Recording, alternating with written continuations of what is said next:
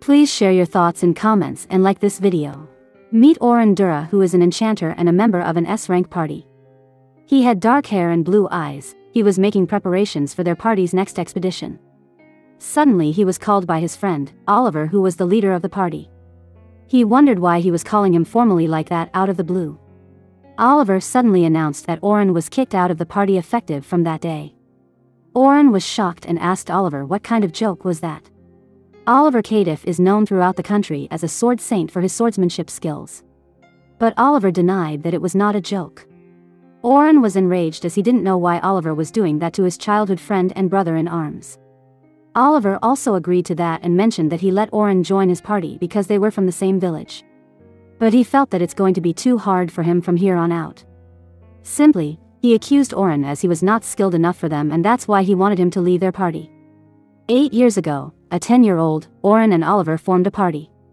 It soon gained the people's attention and was thus called the Heroes Party. In the southern Great Labyrinth where no one has ever reached the very bottom. They became the first to reach the 94th level. A super skilled party that climbed up to S rank in a mere few years after it was formed. Oren agreed that his skills might leave some to be desired but he knew that it was the same for all the party members. But Oliver preferred to have the enchanter in their party to be stronger.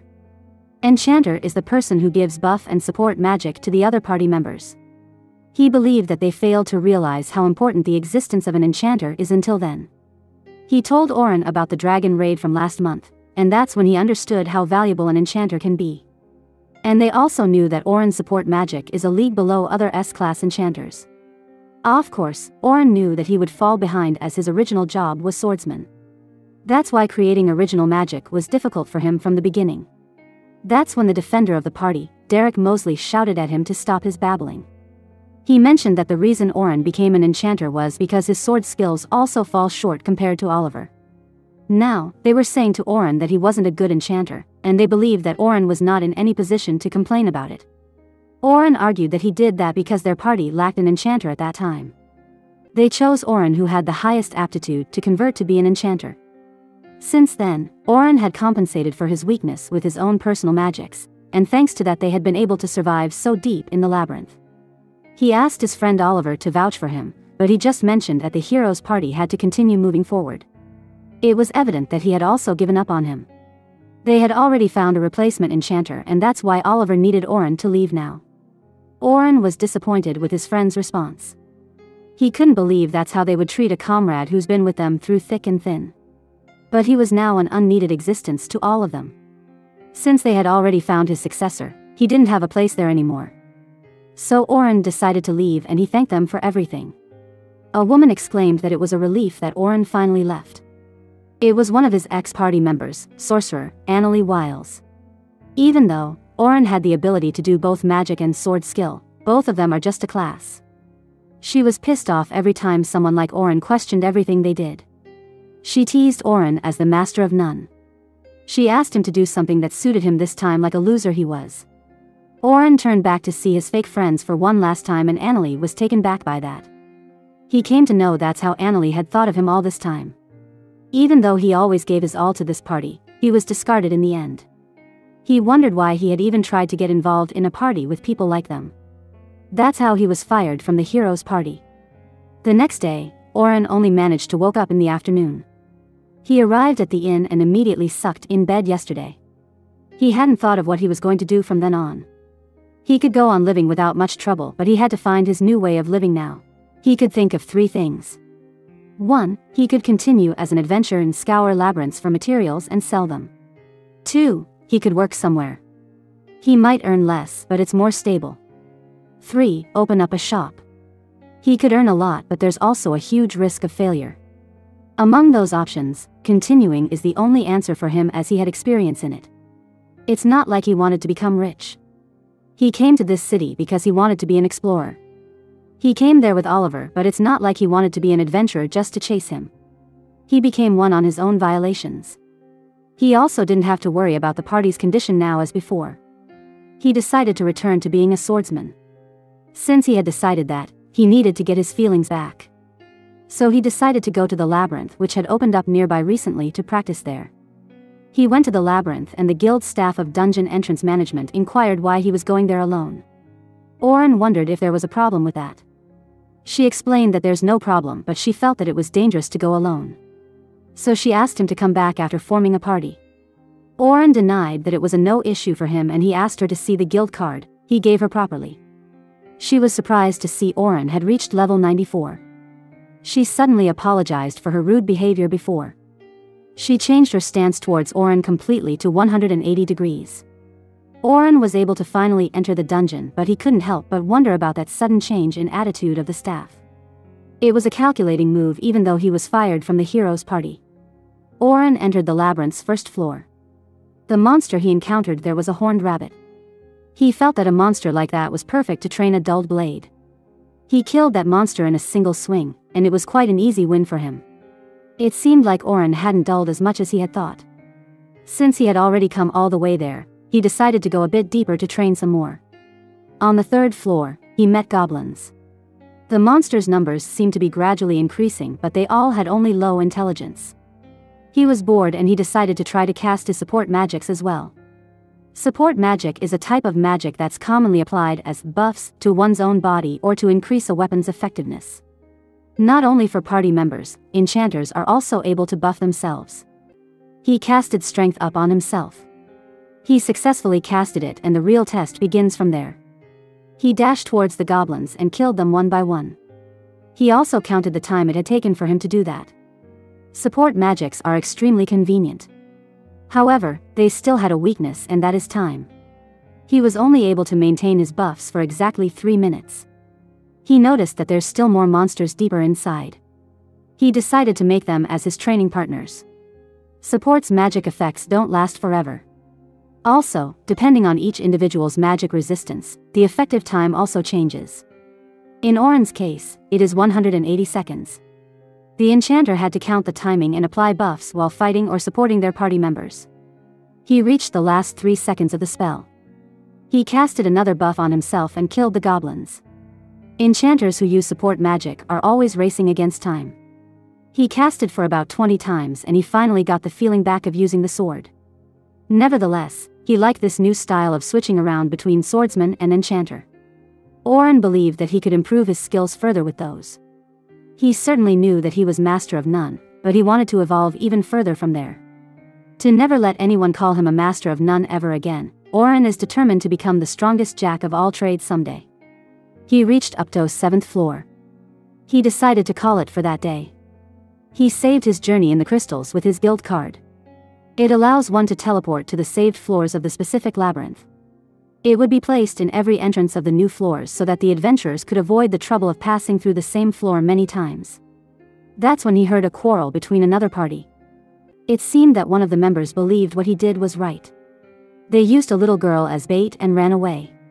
There were more monsters than they had thought so the leader of that group used that new recruit as bait rather than sacrificing his old teammates. Oren felt complex emotions upon hearing that. It reminded him of his ex-party members. He knew that it's not his place to butt in and blame that little girl luck for coming across such a party members.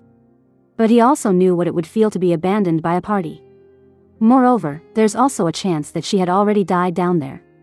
But he still decided to save her. He shouted at them that he had heard enough. They were startled by Oren's shouting all of sudden. Oren berated them as a bunch of kids who were whining instead of going back and saving the little girl. People like them are what Oren hated most. One of them got mad at Oren and tried to attack him. He argued that he was also left alone there so there's no chance to save her. But Oren easily held his wrist and pushed him down. He asked that man to lie where he belonged and complain all day. He inquired others about the location where they left the girl. They were taken back by Oren's anger. They showed him the way to go there. Oren started to run there leaving the others surprised. He wouldn't even have asked for the location if hadn't planned to save her. A red-eyed girl with red hair stood there alone afraid. She knew that it was a hopeless situation. She knew that she wouldn't be able to fight all those orcs alone. But if she didn't do anything, she was sure that she would die. So she mustered up all her magic and casted a magic barrier. She pleaded with those orcs to stay away as she didn't want to die yet. She wished for someone to save her before the magic barrier collapsed. She cried at her helplessness and thought about her big sister. At that time, Oren was running at his full speed to save that little girl. He cursed the adventurers who used people as bait and believed that people like them have no right to form parties. The little girl managed to use her magic barrier for a long time, but the monsters were relentless. Her barrier started to crack. That's when a huge spell arrow shock was executed in front of her. Oren managed to reach that place successfully on time. He asked her to focus on the barrier magic and assured her that he would take care of the orcs. The little girl also agreed to do that and Oren moved ahead to slaughter the orcs. The little girl wondered whether Oren was a magician or a swordsman. Oren casted numerous buffs on him like strength up and technical up. He also enchanted his sword just in case. He casted sharpness up on it and the sword shined brightly. The little girl was surprised to see him even using support magic as well. Oren counted and found that there were 13 orcs in total in front of him. It was no wonder that the party ran away. He jumped into the orcs group and slaughtered them. It was a child's play for him who had managed to reach up to 94th floor. He killed all of the orcs and the little was shocked to witness his strength. He exclaimed that he was incredibly strong. After finishing them, Oren breathed a sense of relief. He inquired whether the little girl was alright. He wasn't able to see any external injuries but he still casted heal on her just to be safe. After some time, the little girl seemed to come to her senses. She breathed a sigh of relief that she managed to stay alive. She fell down to her knees and cried as she was quite scared. Oren was surprised and didn't know what to do in that situation. The only solution he came up with was to pat the little girl's head. Since he knew that being abandoned by one's allies is really a scary thing. The little girl finally managed to stop crying. Oren apologized for suddenly patting her, but she didn't mind that. She thanked him as she was grateful for him saving her. She really thought she was gonna die back then. That's why she was so happy when Oren came to save her. Suddenly, they heard a sound. Oren, who had tons of experience, knew that there were more monsters coming on their way, so he decided to leave that place first. He helped the little girl and escorted her back to the entrance. Oren decided to leave and she thanked him once again.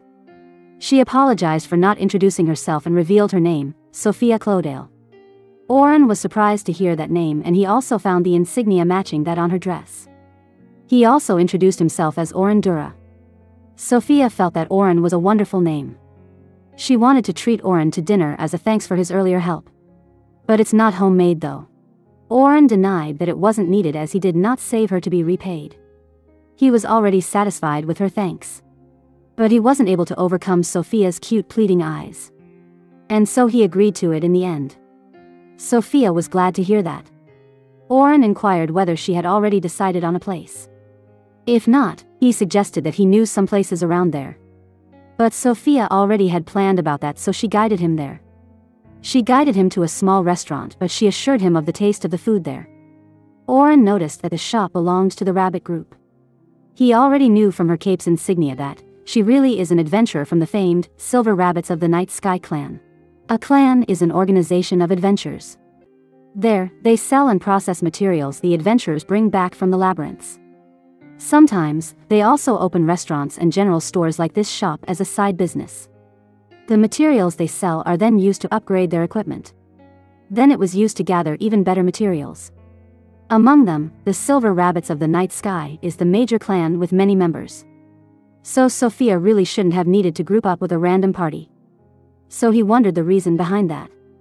They went inside the small restaurant and Sophia greeted her sister. But Oren was also shocked to see Sophia's sister as he already met her once. Sophia's sister also had the same red hair and red eyes like Sophia. Sophia's sister was there to grab dinner as she had a meeting that day around that place. Setting that aside, she teased Sophia if Oren was her boyfriend. She teased her that it was still too early for her to do that. But she stopped in the middle as she managed to recognize Oren. She greeted Oren with his full name with anger. Oren also greeted her using her name, Selma Clodale. She was the party leader who stood at the summit of the Silver Rabbits of the Night Sky. A famous adventurer comparable to the hero party's leader, Oliver. The reason for that was because of her pretty face and being the strongest enchanter in the continent. She's also the reason why he wanted to try and become an enchanter. And that's also why he got kicked out of the heroes party. Not only, Selma had popularized the job of enchanter but she also created the idea of roles in parties. She brought up the idea of splitting parties into three different roles. The offensive, attacker, the tank, defender, and the backline, supporter.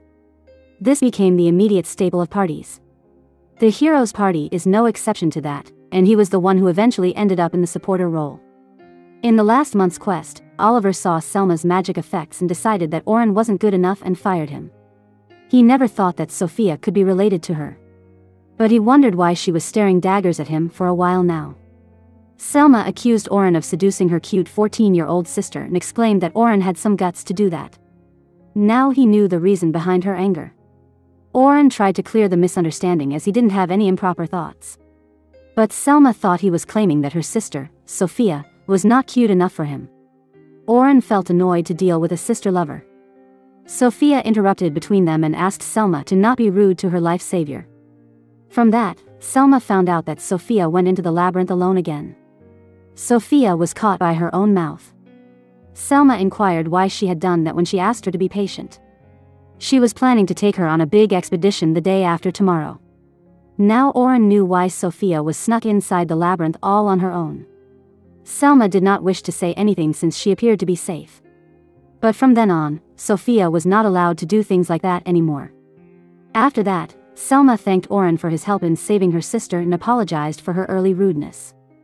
Auron didn't mind that but his stomach growled at that point. So they decided to share a table together. Also, this was the first time they had a proper conversation in a while. Even when they went on that subjugation quest, they didn't talk about anything other than the quest. They first met each other, last month, on a subjugation quest. They were positioned together since they were both enchanters. But Selma took the lead and he was just there as her support. Seeing their conversation, Sophia wondered if Selma already knew him. Since her famous sister knows him, Sophia comes to the conclusion that Auron must also be a famous person. Selma revealed that he was one of the members of the Heroes Party. Sophia was surprised to hear that as that was the most famous party in the continent. Auron asked Sophia to not to be tense as he was no longer a hero. Selma was also shocked by his statement and came to know that he left the party yesterday. She wondered what made Oliver leave such a man. In her opinion, they had to beg Auron to stay with them. They inquired about the reason for him to leave his party. Auron mentioned that they had their own circumstances and it's something they had agreed on. He refused to reveal that it was due to the last quest and Selma. She inquired him whether he was free and confirmed it. Hearing that question, Auron wondered whether Selma was going to invite him to join her party. But Auron himself was not sure about whether he was interested in it, after what happened last time. Selma started to talk and he interrupted her. He claimed that he didn't want to join any party for a while. Selma explained that he was mistaking something and mentioned that she had the perfect job for him. She wanted Auron to help her in a teaching expedition. Auron was taken back by Selma's unexpected request. It was a collaborative exploration. It's a new plan that they have for the Silver Rabbit of the Night Sky. A few rookie explorers accompanied by an A-rank explorer will climb to the 51st floor of the southern dungeon for three days. Auron felt that it was a reckless plan. It usually takes 6 to 12 months to clear those floors, no matter how skilled that rookie is. Selma also agreed to that but mentioned that it was not impossible if he followed the shortest path. Selma explained that it was because of Rabbit's Guild sponsors' expectations, the clan was made to work like there's no tomorrow. But Auron had his doubts about that. If the sponsors were persistent for such a reckless plan, then he knew that there had to be some other reasons for that. After thinking for a time, he found the answer he needed. If the rookies could bypass the boss floor and gain levels, it would strengthen the clan overall. That was their main reason to conduct dungeon exploration for rookies. Selma was shocked to see Auron managing to infer their plans from just her words. He's far smarter than Selma had initially thought.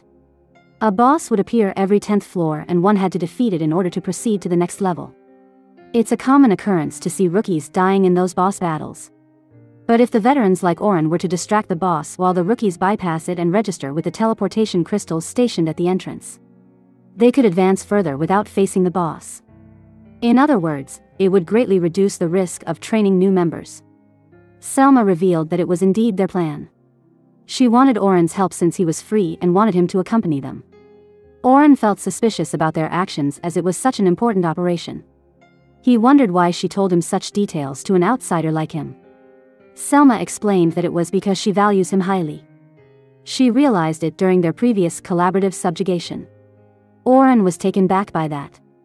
On one side he was happy to have the strongest enchanter evaluating him highly. On the other side, he wondered on what basis she had those opinions.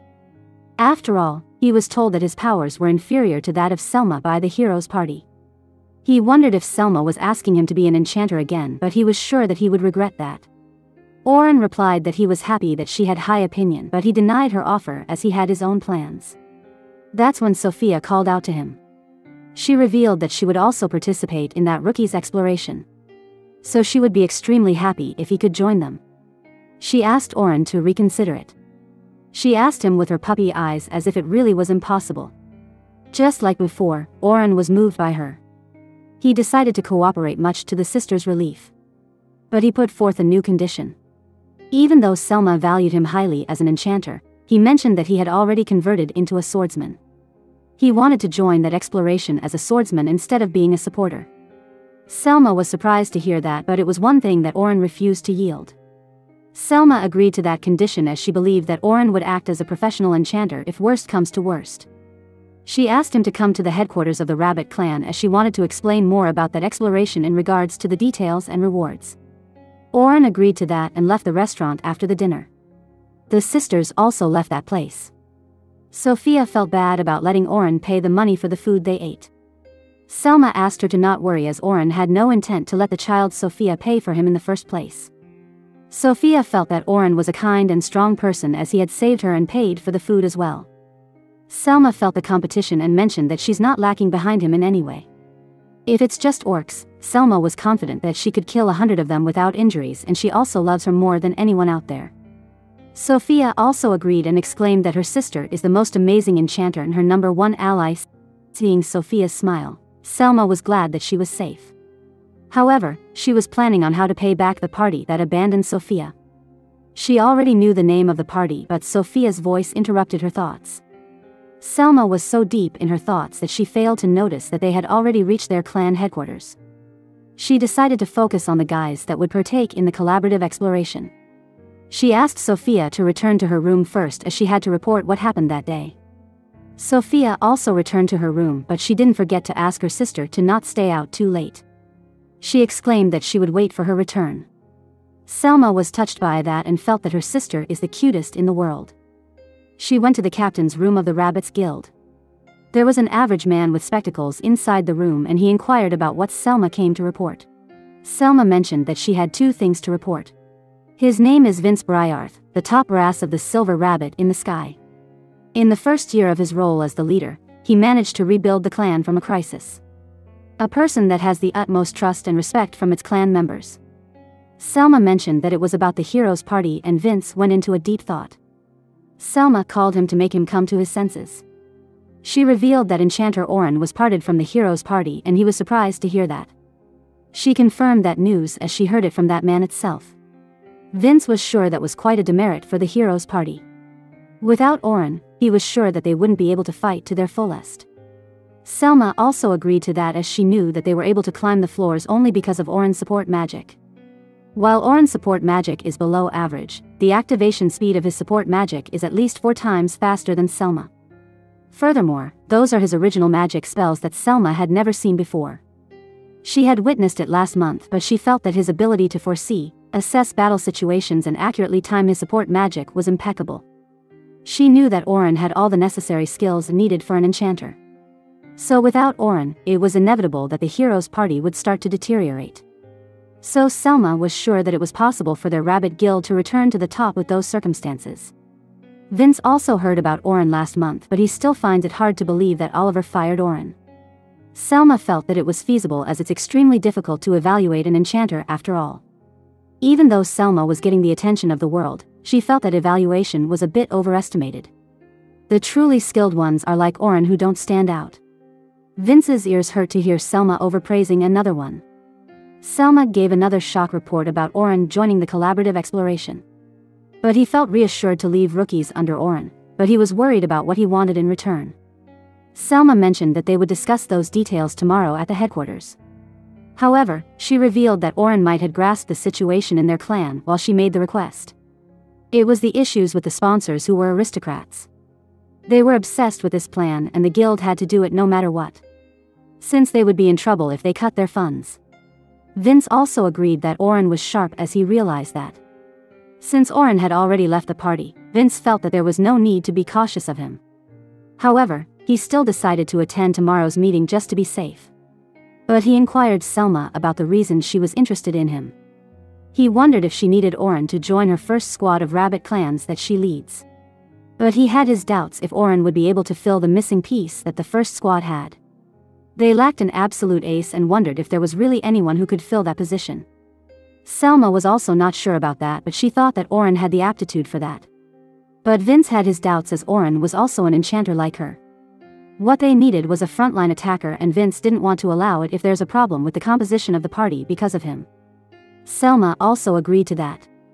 Since Oren wanted to be a swordsman instead of an enchanter, she thought that relying on him wasn't worth it. They concluded the meeting as they were now assured that exploration would be completed swiftly as they had Oren's help who had plenty of experience. Selma also finished her report and left that place. Selma was also troubled by the fact that they were not moving forward at all. Even when the heroes party had decided to self-destruct, they weren't able to improve since last year. She felt tired as there were problems everywhere. Then she remembered Sophia's cute face. She decided to let herself get healed by her for now. The strongest enchanter on the continent has a sister complex and she has a lot of love for her little sister. The next day, Oren went to the alchemist shop and met a familiar old man. He wanted to buy healing potions as he would be heading to a great dungeon from tomorrow onwards. The Gramps welcomed Oren to his general store with a warm smile. The Gramps had always treated Oren who had no relatives like his own son. So he's somewhat of a granddad to him. Oren asked the Gramps to take his time as he knew that the influx of customers had just calmed down. He was glad that the Grandpa's business was thriving. But the Gramps attributed his success to Oren of the Heroes Party who advertised his shop, so he was grateful to Oren for that. Oren decided to tell everything to the Gramps. He revealed how he was not a member of the Heroes Party anymore. So he won't be able to advertise the Gramps goods like before since he won't have any influence as he was no longer a part of the hero's party. He apologized to the Gramps and felt sad as he wasn't even able to repay someone who had been taking care of him. But the Gramps patted Oren as there was nothing to worry about. He was more than happy to talk with someone like Oren who had a nice character. The Gramps wanted to do business using his own support. He was thankful to Oren as he had already done more than enough for him. Oren was surprised to hear that, and mentioned that he was the one who was thankful for his kindness towards him. The Gramps watched Oren and believed that he had endured quite a lot this time. But Oren didn't want to cry about something like that. Seeing his adamant figure, the Gramps consoled him. He mentioned that it was alright to cry a little when things get painful for him. After hearing his kind words, Oren began to cry and vented his frustration there. He was grateful to the Gramps once again for his kindness. Oren went to the appointed meeting place and greeted Selma there. Selma asked him to follow after her. As they were going on, Selma mentioned that Oren's face seemed brighter than yesterday. She believed that Oren had made his resolve over the hero's party. Oren also confirmed that and they went for a meeting inside the Silver Rabbit headquarters. This had happened in the days that had well passed. Two adults were watching the fight between Oliver and Oren. They praised Oliver's skills as he was someone worthy of the title, hero. But on the other hand, they deemed Oren as an ordinary child even though he was called a prodigy back in the days. As the fight progressed between them, Oliver managed to knock Oren's sword and defeated him. The two adults also decided to let Oliver carry on their will. They believed that to be an ideal choice. They decided to use the once called prodigy as a shield for the hero. Oren exclaimed that he had lost. But he still smiled and exclaimed that he couldn't beat Oliver anymore. But Oliver was mad as it seemed that Oren hadn't fought him seriously. He didn't want the fight to end easily as he was more amazing than him in the past but his skills didn't improve for the last few years. Oren believed that Oliver was overestimating him and mentioned that he had indeed fought at his best. He mentioned that Oliver had grown stronger and there's no way he could defeat a genius like him. But Oliver refused to believe that crap. He still didn't believe that he had overtaken Oren and was determined to defeat him when he was serious one day. But Oren still mentioned that he had indeed fought seriously in a carefree manner. But Oliver refused to believe that. He was determined to make Oren fight him seriously. So he left that place with that determination. After Oliver left, Oren who was on the ground refused to have a situation where he wanted to fight Oliver seriously. Because he didn't want to kill Oliver and he didn't want him to die because of him. But his thoughts were interrupted by a girl who mentioned it was a shame. The girl's name is Cheyenne and Oren was surprised to see her there. He got up and was embarrassed to let Cheyenne witness his lame figure.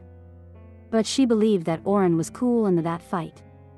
She mentioned that she knew his true abilities. But Oren denied that and mentioned that his weakness was his true ability. He believed that it was all due to his weak resolve. His power was weak in the eyes of the adults who had talent in everything but lacked any special trait. He blamed himself as Oliver had to bear the burden of expectations of his village because of him. He wanted to do something for Oliver. Seeing Oren like that, Cheyenne promised to not leave him alone like that. She wanted to become strong enough to stand beside him. Oren was surprised to hear that. Cheyenne wanted to become strong enough so that they could defeat something in the future. She was the same as Oren and wanted to be always by his side. Even if Oren went beyond her reach, Cheyenne was determined to catch up. That's why she asked him to not shoulder this burden alone. Oren was moved to hear that. He then proposed to walk Cheyenne to the carriage as it was already late. He moved ahead and Cheyenne asked him to wait for her. She then noticed Oren was crying. She believed that he cried because he was moved by her words earlier, but Oren refused that it was not. He wanted Cheyenne to tease him only when she reached his level. Cheyenne countered that since he had been fighting his best earlier, she believed that she had already surpassed him if he was only at that strength. Oren berated Cheyenne for being cheeky as always. Cheyenne mentioned that even though what they said seemed like a joke, she vowed to catch up to him so that they would be able to fight alongside in the future. Until then, she wanted Oren to be her guiding light. Oren also agreed to serve like that so that Cheyenne won't lose her way. He walked with her to the carriage and Cheyenne boarded it. He said his farewell to her. The current Oren apologized to Cheyenne as he couldn't be that guiding light in the end. Because after this something happened to everyone but it wasn't revealed what it was. Since Oren managed to wake up from his sleep, he felt that it was a strange dream.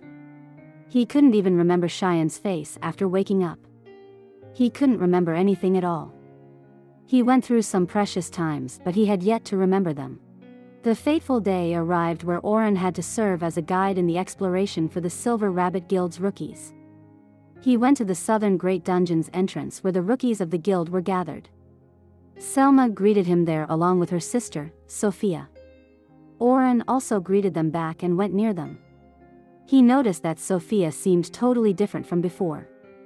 Sophia wore the guild's rookie uniform and Oren complimented that it looked good on her. Sophia was taken back to hear a compliment and thanked Oren back while blushing. The sister's lover, Selma, was shocked to see her cute sister blushing. She berated Oren for being skilled at flirting and inquired whether he had any lover. Oren denied that and believed that he had gotten used to it as he had lived with female members of the hero's party. Selma came to her senses after that explanation as it was indeed true that the hero's party members lived in the same mansion.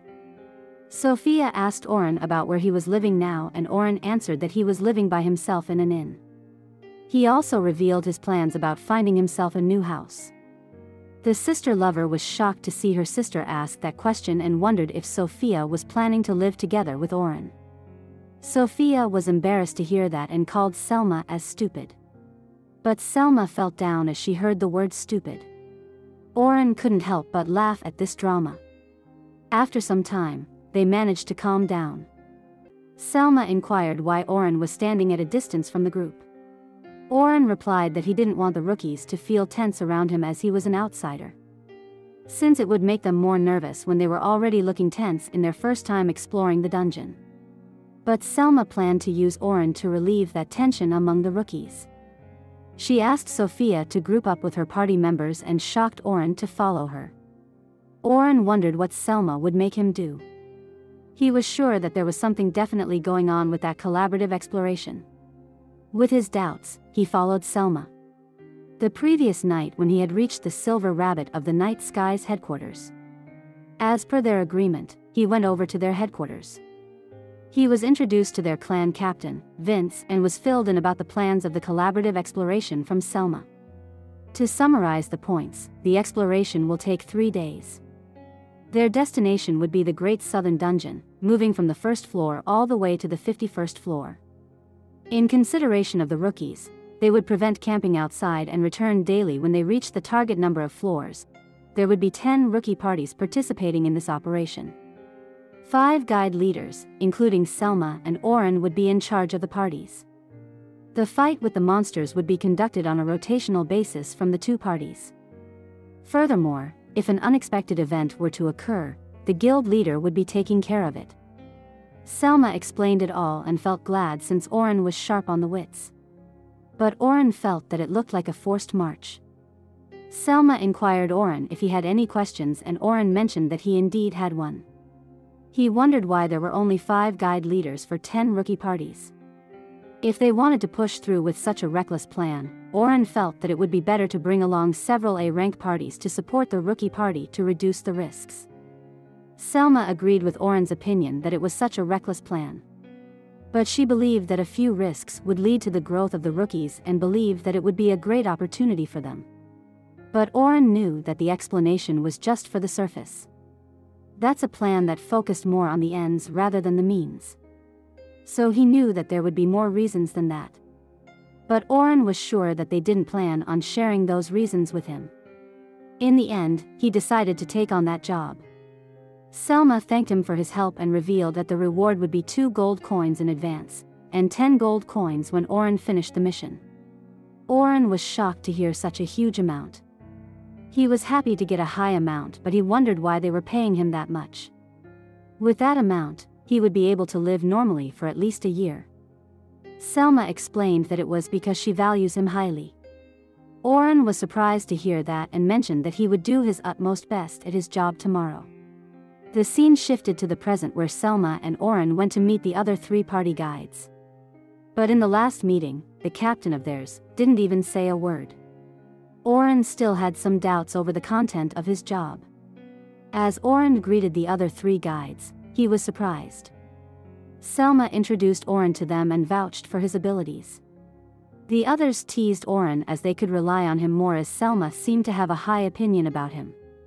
Oren became flustered and asked them to not raise the hurdle for him. He then composed himself and introduced himself to others. He introduced himself as a frontline attacker rather than enchanter. The other three also introduced themselves. The two boys in the group were Arnold and Anselm who were defenders. The girl's name is Kathy who was a healer. Oren found that they had only one attacker and one enchanter. He wondered what they had planned to do if he had joined their team as an enchanter. But he had to agree that it was a balanced composition. He once again felt that there's something odd about this operation. After their introductions, Selma proposed to greet the rookies as well. They gathered all the rookies and Selma gave the speech before them. She revealed their plans about reaching the 51st floor of that dungeon. She could see that everyone was feeling tense as they were scared to advance towards the middle floors so suddenly. Normally, rookies would only enter a dungeon after another year of training. She asked the rookies to not worry as they had invited a strong helper to deal with unexpected events.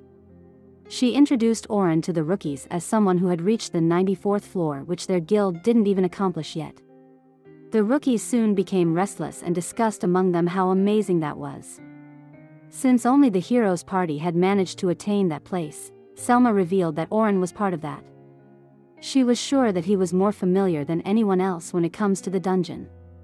The tense atmosphere soon disappeared and everyone was excited. But Oren became tense as he felt that the rookies were getting way too excited.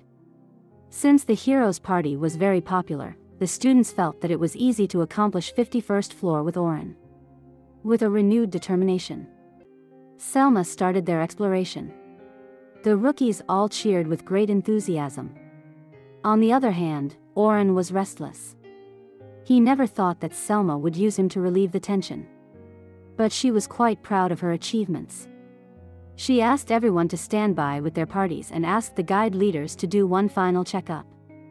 Oren asked why Selma had made the rookies too excited as he was concerned about it. But Selma felt that it was fine and asked the guide to lead them thoroughly.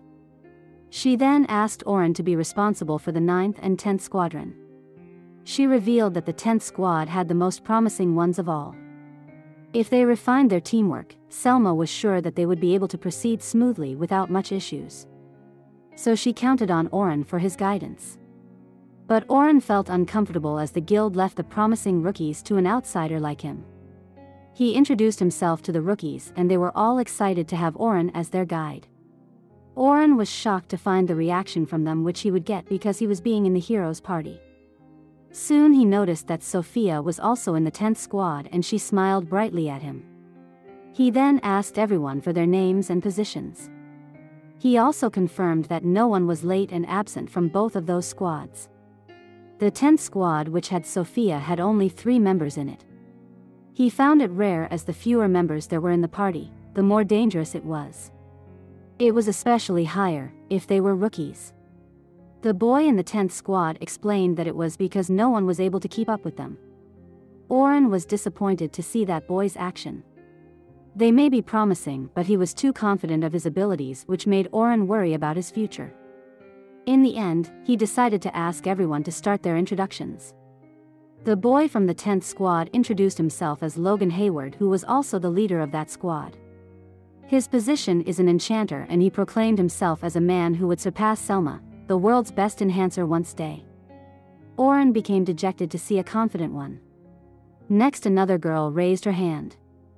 She introduced herself as Caroline Inglod, and her position is defender. Oren inquired why she was wearing only light armor if she was a defender. He wondered if she was gonna change it when they were gonna head in. But Caroline proclaimed herself as a defender who doesn't wear any kind of gear or armor. Oren became dejected once again and found that she was an evasion-type defender. Caroline explained that she didn't like to touch those magical beasts. But she also wants to kill as many of them as possible. So she became the position that is closest to them. Evasion-type defenders usually use their speed to hold the monsters in one place instead of confronting them. Caroline seemed to want to fight like that. But Oren knew that the evasion defender would find it difficult to accumulate battle experience. So he wondered why no one objected to her role in deciding that position. Logan explained that Caroline stuck to that position even though many objected to her choice. Caroline counters that Logan would always ignore the instructions of the instructors and he didn't get to slang her. Logan proclaimed that he was exempted from listening as he was excellent. In the end, Oren found that they were all problem childs. In the end, Sophia introduced herself and her position as a magician and a rear attacker. She greeted Oren with a warm smile. Oren didn't know why, but that normal introduction put him at ease. Sophia went to stop the quarreling Logan and Caroline. Oren watched that and believed that his mission was a lot harder than he had thought. They all entered the dungeon and the collaborative exploration finally began. Even though the rookies were all fired up earlier, Oren was amazed to see them become quiet after entering the dungeon. Caroline called out to Oren and asked why someone from the hero's party was joining them for exploration. She wondered if they didn't find the Silver Rabbit as their rival clan. Oren explained that he was no longer a part of the hero's party and Selma had already mentioned it in her speech. She knew that the hero's party was always cautious of the silver rabbit and paid attention to their activities. So she wondered why Oren had quit. She felt that it was such a waste for Oren to quit that party as it was a target of admiration. Oren didn't like her to probe into his past. Even though it seemed that Caroline didn't look like she had any ulterior motives, Oren was not good with people like that. He refused to explain and Caroline teased him as a cheapskate. Then she confirmed that Oren was acquainted with Sophia. She revealed that Sophia had been telling them that a fantastic person was going to join them for this operation. Sophia became embarrassed to hear that. Caroline was sure that the fantastic person was Oren and Sophia also confirmed that. She revealed that she was once saved by Oren before. She clearly saw how strong he was. Furthermore, he was from the hero's party and her sister, Selma also said that she would be relieved if Oren was there. She vouched for Oren's abilities. Caroline listened to it and inquired why she wasn't loosening up a little more since they had someone from the hero's party. Oren remarked about how he had already left the hero's party. But Oren clearly noticed Caroline's actions. She had initiated a conversation to loosen Sophia's tensions. He was surprised to find that Caroline was a thoughtful girl. They moved further into the dungeon but the monsters spotted them. It was a pair of wolves. It considered them as easy prey and leaped forward to attack them. Oren noticed them and a magic circle activated from the ground. Soon sharp stone pillars emerged and killed those wolves. Both of the wolves died by having their bodies with numerous holes. Oren confirmed that the traps had been working properly. It's a time-based magic trap. To time the trap, it takes a certain degree of skill but the moment one sets it up, it's hard for anyone to notice it. If it goes smoothly, they would be able to deal with the monsters on their rear without much effort. Since their time was extremely limited, they couldn't afford to waste any time with pointless combat there. They managed to reach the 20th floor of the dungeon. Caroline inquired Oren about how far till they had to reach the floor's boss. Oren answered that it would take 10 minutes if they continued at their current pace. Caroline felt bored as the 10th floor finished early. But Oren was glad as it seemed that they would be able to finish earlier than they had planned without any problems. He had been observing the three of them and how they fought. He had his doubts about that three-man squad initially but they were fine. Firstly Logan, he thought Logan was just an arrogant rookie but his skills as an enchanter were definitely high. If Logan could keep up with the long-term combat, Oren was sure that he would be able to fit into an A-rank party without any problems. He was a prodigy without a doubt. Though, Oren felt that it was unfortunate that his instructions as an enchanter were mediocre. But he was sure that Logan could become stronger if he accumulated combat experiences. Secondly, Caroline, she's aiming to be a speed-based defender. Though she might possess great speed, she had two flaws. The first flaw is that she had a tendency to rush in recklessly. A defender fighting closely was good but Oren got worried watching her do it. Her second flaw was that she wielded two daggers. Its compatibility with her may be good but it didn't pair up with her party's skill sets. That was all he could think about them. Lastly Sophia, she seemed inferior compared to the other two but her skills had already surpassed that of a rookie standard. Though her indecisiveness was a problem, it could be compensated for if she interacted more with her team members. She didn't seem to have any obvious flaws as a rookie so Oren was interested in her growth in the future. The ninth squad he was in charge of also had room for improvement. Soon they heard a huge growl of a monster. It seemed the other three guides had managed to defeat the 20th floor boss monster. They stopped at the 20th floor for that day but Oren didn't expect it to go that smoothly. He believed that he had underestimated the Silver Rabbit Guild. Selma complimented everyone for their work. She wanted to go to the 21st floor, but that was scheduled for the next day. So she asked everyone to register their card on that floor as they could teleport there from the entrance. The rookies lined up and registered their cards. Everyone was happy with their achievements. In the end, everyone teleported to the entrance of the dungeon instead of camping there. Selma thanked Oren for his hard work. Oren also complimented her. Selma then inquired about the rookies. Oren explained that the 9th squad had room for improvements and the 10th squad was exceptional as she had said. But their coordination was non-existent. Oren especially worried about Caroline as it would affect her if she was remained like that. Selma explained that Caroline might be like that but she had improved a lot compared to the past. Oren wondered how Caroline was in the past. They ended their conversation there and planned to meet there the next day. The next day, Oren woke up and read the newspaper. He exclaimed that it had turned out as he had feared. What was written on one side of the newspaper is the exclusive coverage of the replacement of the hero's party enchanter. In other words, the expulsion of Oren Dura was exposed to the whole world. His friend who was also the leader of the hero's party explained that the biggest reason for the replacement was Oren's lack of skills. The Sword Saint mentioned that they didn't know that Oren's abilities were below average. In other words, despite letting such disappointment remain in the party, they still managed to reach the unprecedented 94th floor of the dungeon. Philly Carpenter, who joined yesterday, is an explorer who is active in the Western Great Dungeon.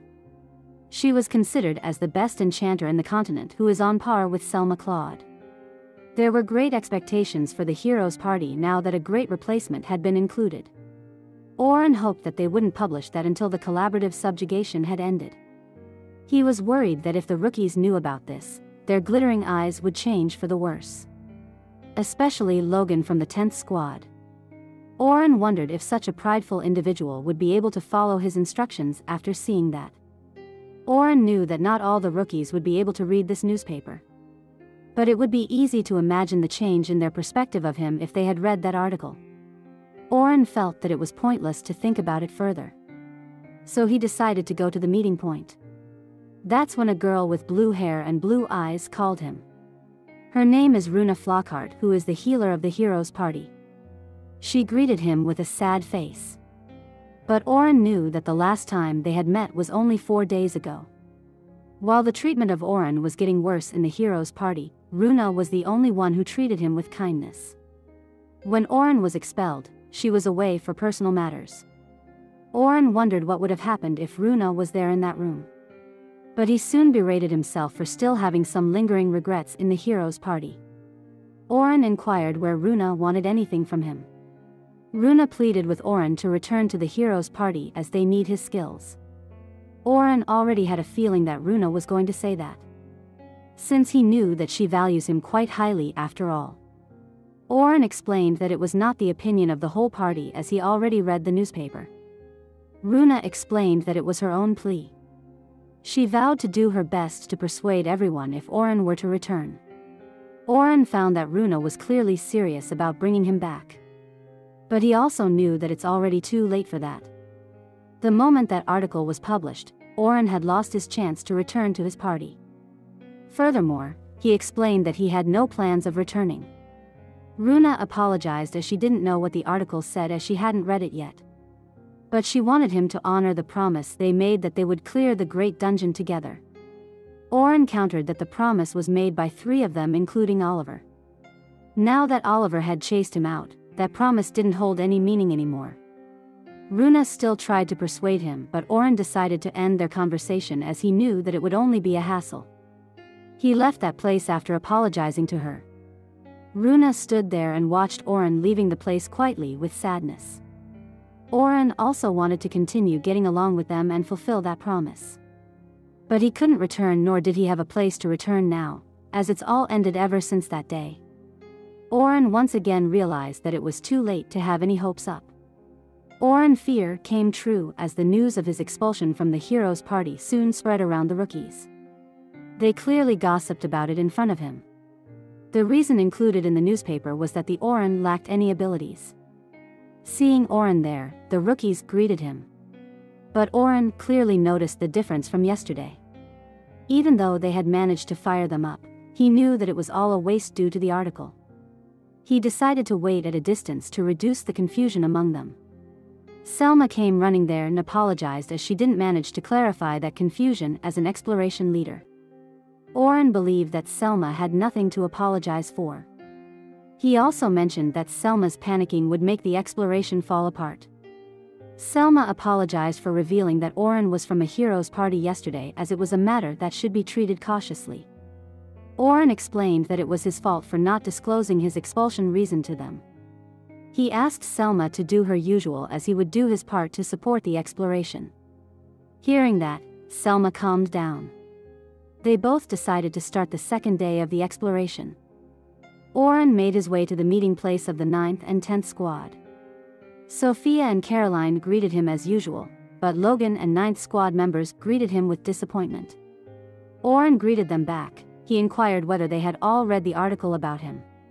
They all remained silent and it was evident that everyone knew about it. Oren revealed that all of them were true and he was kicked out of the hero's party due to his lack of abilities. So he was not the kind of hero everyone thinks of him. The ninth squad began to chatter after hearing that. Oren apologized for not telling them before. Sophia shouted that Oren was really strong which shocked all the rookies. She exclaimed that Oren managed to defeat a dozen of orcs instantly. That's why she believed Oren didn't lack in abilities. Oren was thankful for Sophia's trust in him. He explained to the other students that he has the ability to bring everyone to the 51st floor of the dungeon. Even though he was not a part of the heroes' party, he swore as Oren Dura that he would protect them. The rookies began to fire up just like the day before and Oren asked them to do their best on that day. They shouted with a renewed determination. They managed to reach the 23rd floor and the rookies performed well. Oren was glad that they started to trust him again. He was supposed to be giving out orders as a guidance leader that day, so it would have been bad if that grim atmosphere were to linger. Especially, the ninth squad, they tend to respond slower if they were to follow the theories without the trust they have, it wouldn't have gone that smoothly. Then he sensed the presence of demon beasts ahead and inquired the 10th squad if they were ready. They also prepared for the combat as Oren instructed. One orc and numerous goblins emerged before them. Oren asked Caroline to get the attention of the goblins. He then asked Logan to support Caroline with support magic. He asked Sophia to deal with the orcs at the rear. Oren then noticed Logan as he was pretty interested in his support magic. Logan began to construct magic circles of amplify strength, amplify magic and amplify abilities before him and casted it on Caroline. Oren was amazed to see that Logan was capable of casting three support magics despite being a rookie. There was nothing to point out regarding his magic abilities. Caroline also rushed ahead as usual and killed the goblins. Oren found that there were no problems with the two of them. But the problem was with Sophia. She was attacked by orcs the other day so she was frozen from the trauma she received from then. Oren asked her to calm herself and assured her that she would be fine. He also mentioned that she has teammates now, so she would not be abandoned just like before. Seeing the orc nearing them, Oren casted the agility debuff magic on it. He assured Sophia that he would support her even if she made mistakes. Once again, he mentioned that she was not alone. That's why he asked her to go all out. Sophia regained her spirit and decided to show what she could do. Oren believed that Sophia would be fine as she was not the lost child from the dungeon like before. Sophia casted a powerful magic spell and concentrated without considering the surroundings. She launched the spell Fire Javelin at the orc with her full strength. Everyone was surprised after seeing the impact of Sophia's spell. Logan and Caroline also stopped on their tracks. Though Oren asked Sophia to go all out, he certainly didn't expect her to use advanced magic. As everyone was in shock, Caroline went ahead and praised Sophia for her skills. She hugged Sophia and she was glad that it went well. Oren complimented that it was an excellent attack. Sophia thanked him for his compliment. Though the battles after that were as tough, they had managed to reach 36th floor which was their goal and returned to the surface safely. Outside the dungeon, Selma praised everyone and asked them to prepare for the last day of exploration. After she dismissed the meeting, the other two defenders Anselm and Bernard asked Oren to wait. They wanted to grab some dinner after that and invited Oren to join them. Oren was glad that they didn't think badly of him because of that article and he agreed to join them. Since they didn't interact during exploration, he thought that would be an excellent opportunity. At the same time, Logan inquired whether Sophia was acquainted with Oren.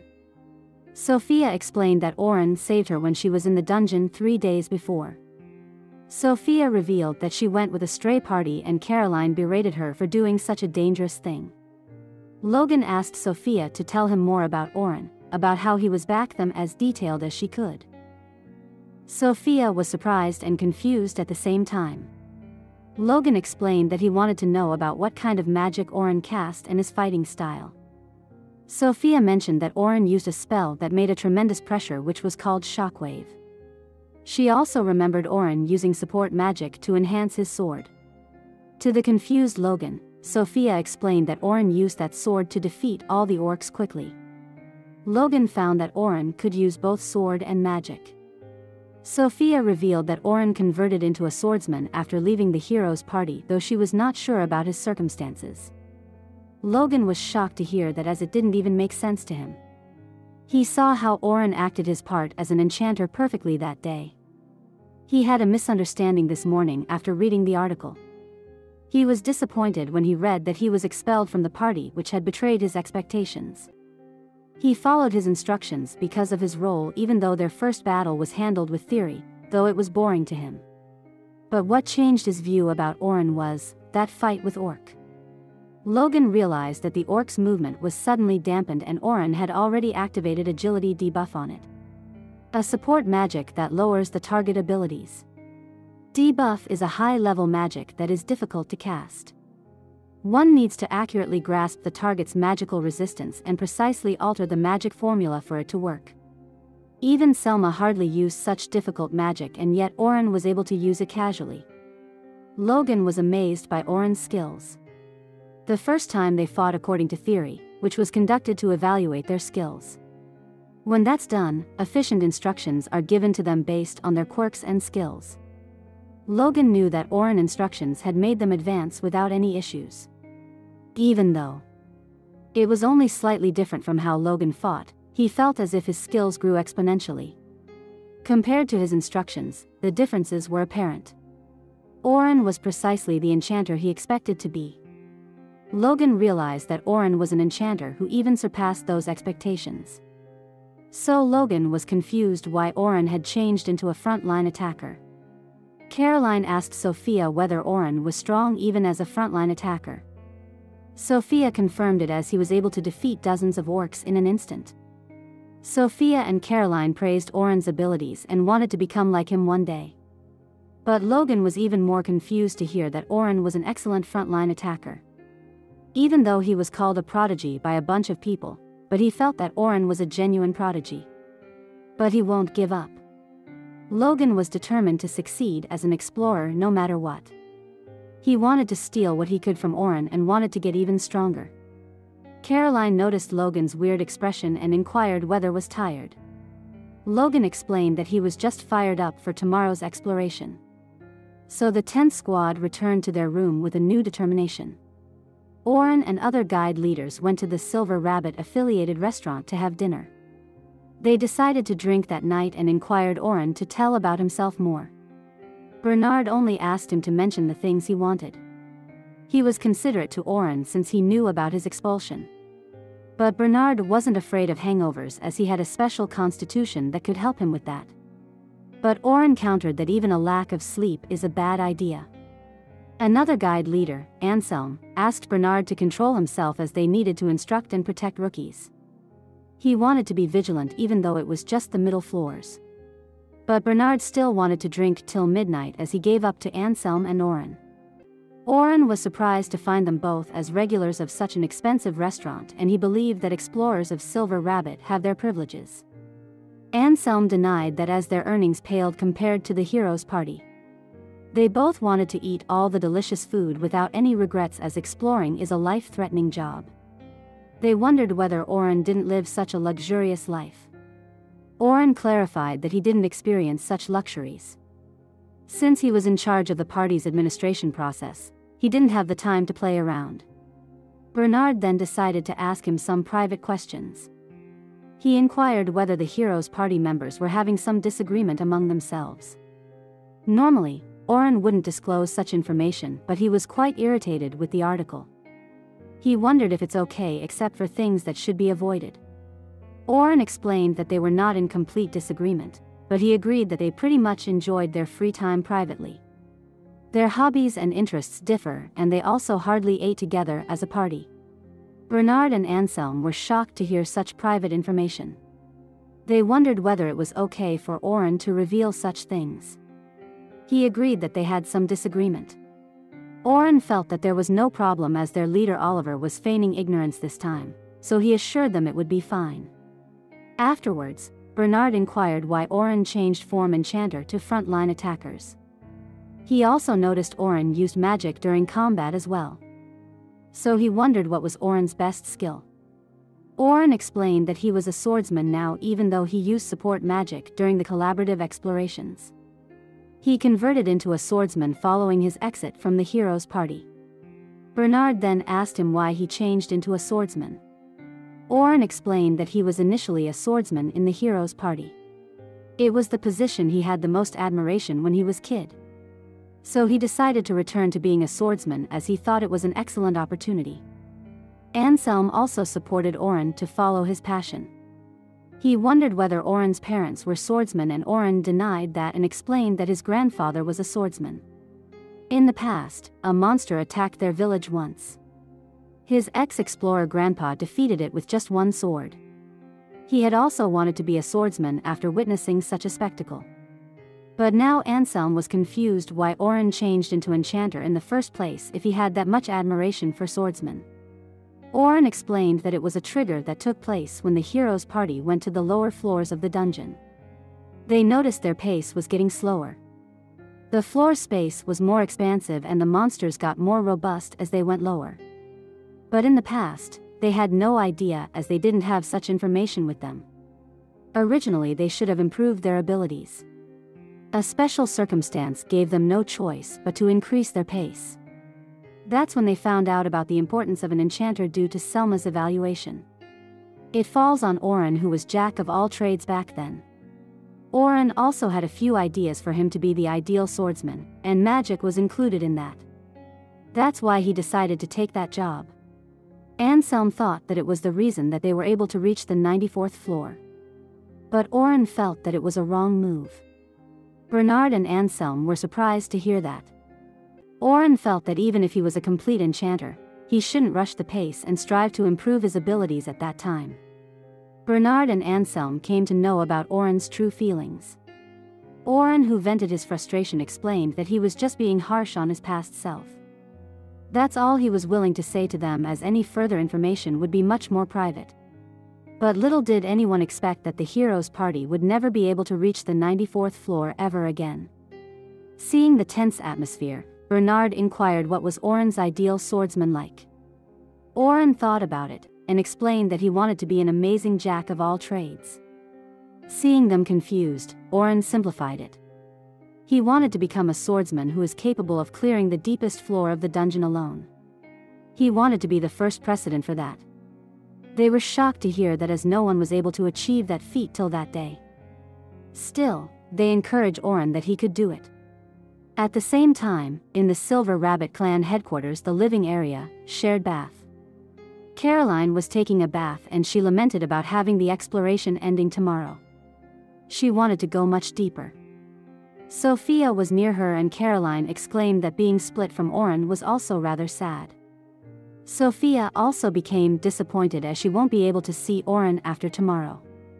Sophia felt that it would be nice if Oren joined the Silver Rabbit clan after that.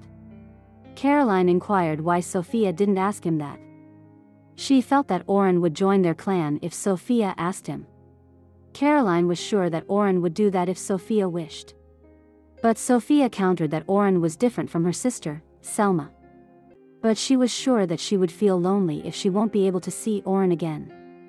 So she planned to ask him whether they could see him even after the collaborative exploration was over. The next day, Oren reached the meeting point as usual. It was the last day of the exploration of the Mammoth clan, Silver Rabbit of the Night Sky. He hoped to end things without any problems that day. When he was walking through, he heard the gossip that the newly formed Heroes Party was going to the lower floors. They had planned to stop at the 92nd floor to test out their teamwork.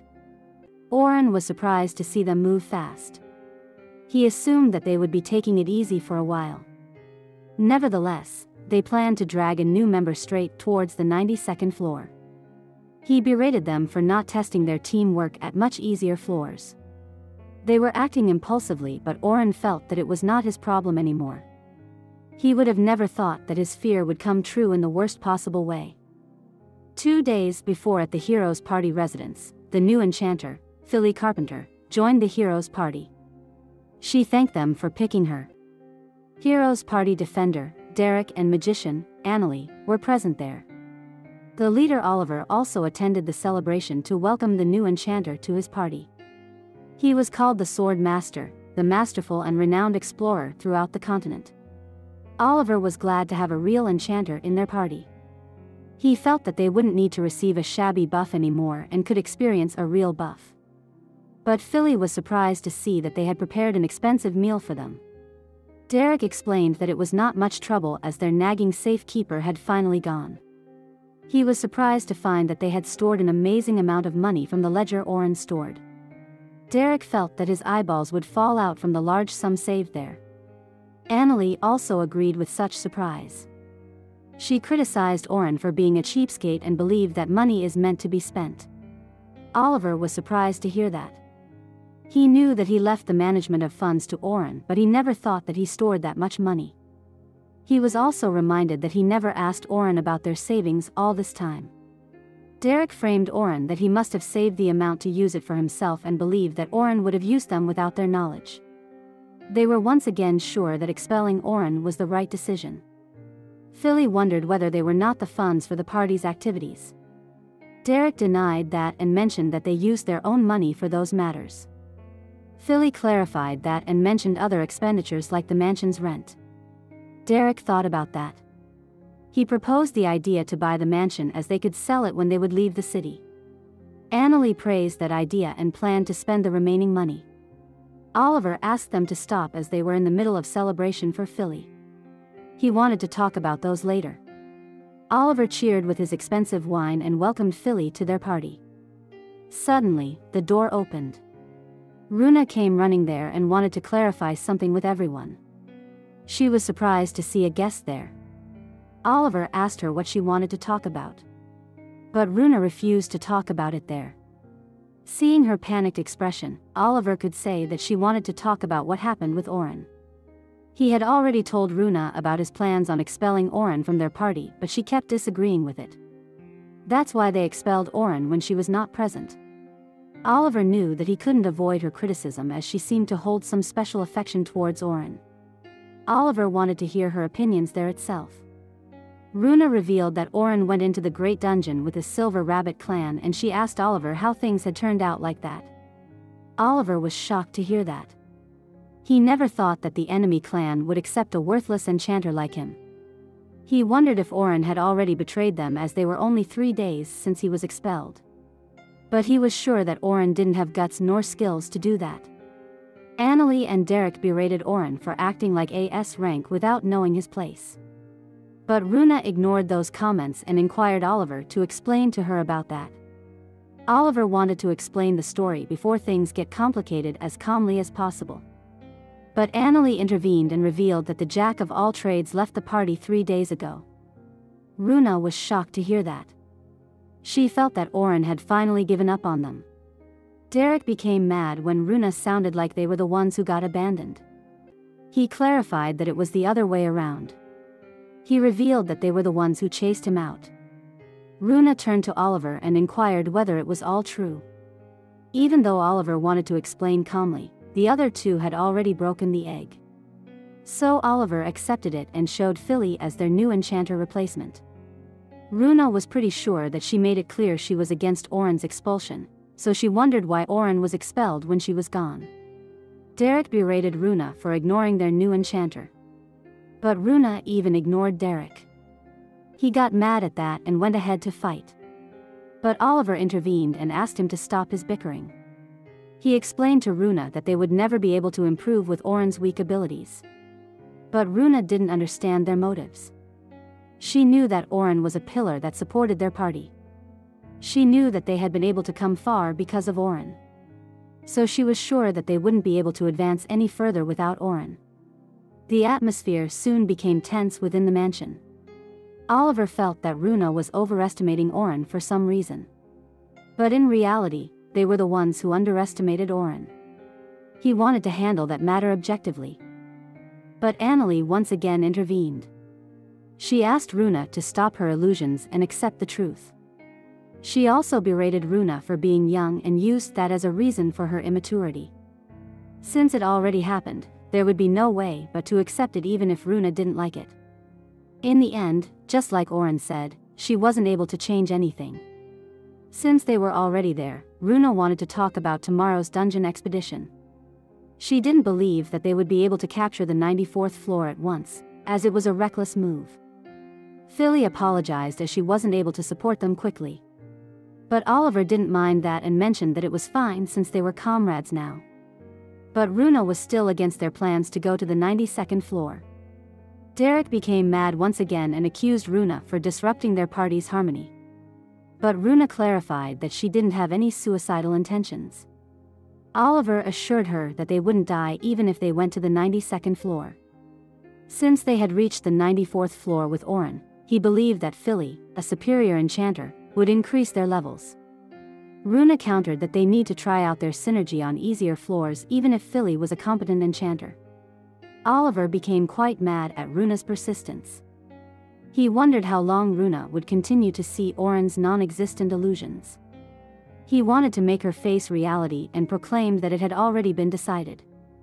Since he was the leader, he announced that there was no room for refusal. Runa left the room after hearing that, without bothering to attend the newcomer's party. She once again realized that it was all over. As she left, Annalie and Derek berated her for supporting Oren. Oliver and Philly discussed how Runa was close with Oren, and she needed time to get along with her. Philly also understood that and showed that she wasn't upset with Runa's behavior. She then mumbled that it's not gonna be easy anyway and felt annoyed. Oliver overheard her mumbling and inquired about it. Philly managed to hide her thoughts and mentioned that she wanted to get along with Runa soon. It seemed that the heroes' party had recruited a troublesome enchanter in the place of Oren. The next day, they raided the 92nd floor as per their plan. Oliver charged ahead and faced the huge monster alone. But no matter how much he attacked it, he wasn't able to defeat it like always which made him irritated. He was also mad as the buff wore off so quickly. The physical abilities after a buff end would always feel like a large amount of weight attached to the whole body. If repeated, it would become a considerable burden both physically and mentally. In the case of Oren, they were able to work together without any problems in about an hour on the first day. But that was not the case with Philly as it's been a few hours since they entered the dungeon. Oliver asked Philly to buff him again as it had already ended. Philly apologized as she wasn't able to time it correctly. She then began to cast her support magic. Oliver wondered whether it would take a while to get used to it. He had to agree that Oren was better than Philly only in that aspect. Even so, after coming to the 92nd floor, he noticed that Philly's atmosphere seemed to have changed. But he dismissed thoughts as it was just his imagination. He decided to rely on her. Since Derek and Oliver were vanguards, they would have many blind spots. So he asked Philly to warn them if any magic beasts approached them there. Philly was shocked to have another job. Oliver thought that enchanters could see the whole battlefield and Philly could do it. But Philly deemed it as impossible as she already had her hands full with using support magic alone. She was quite tired as she had used her support magic many times that day. Oliver wondered whether it was a little hard of him to ask Philly to do something that Oren had been doing for them for a decade. Then, he noticed that the monster wasn't defeated after a long time. He reminded Annalie that they were on lower floors, so he asked her to get serious and not to use such low power magic. But Annalie denied that and mentioned that she was just using the magic as she would as usual. Even so, the magic she casted was weaker than normal. Oliver was shocked to see the usual firepower of Annalie.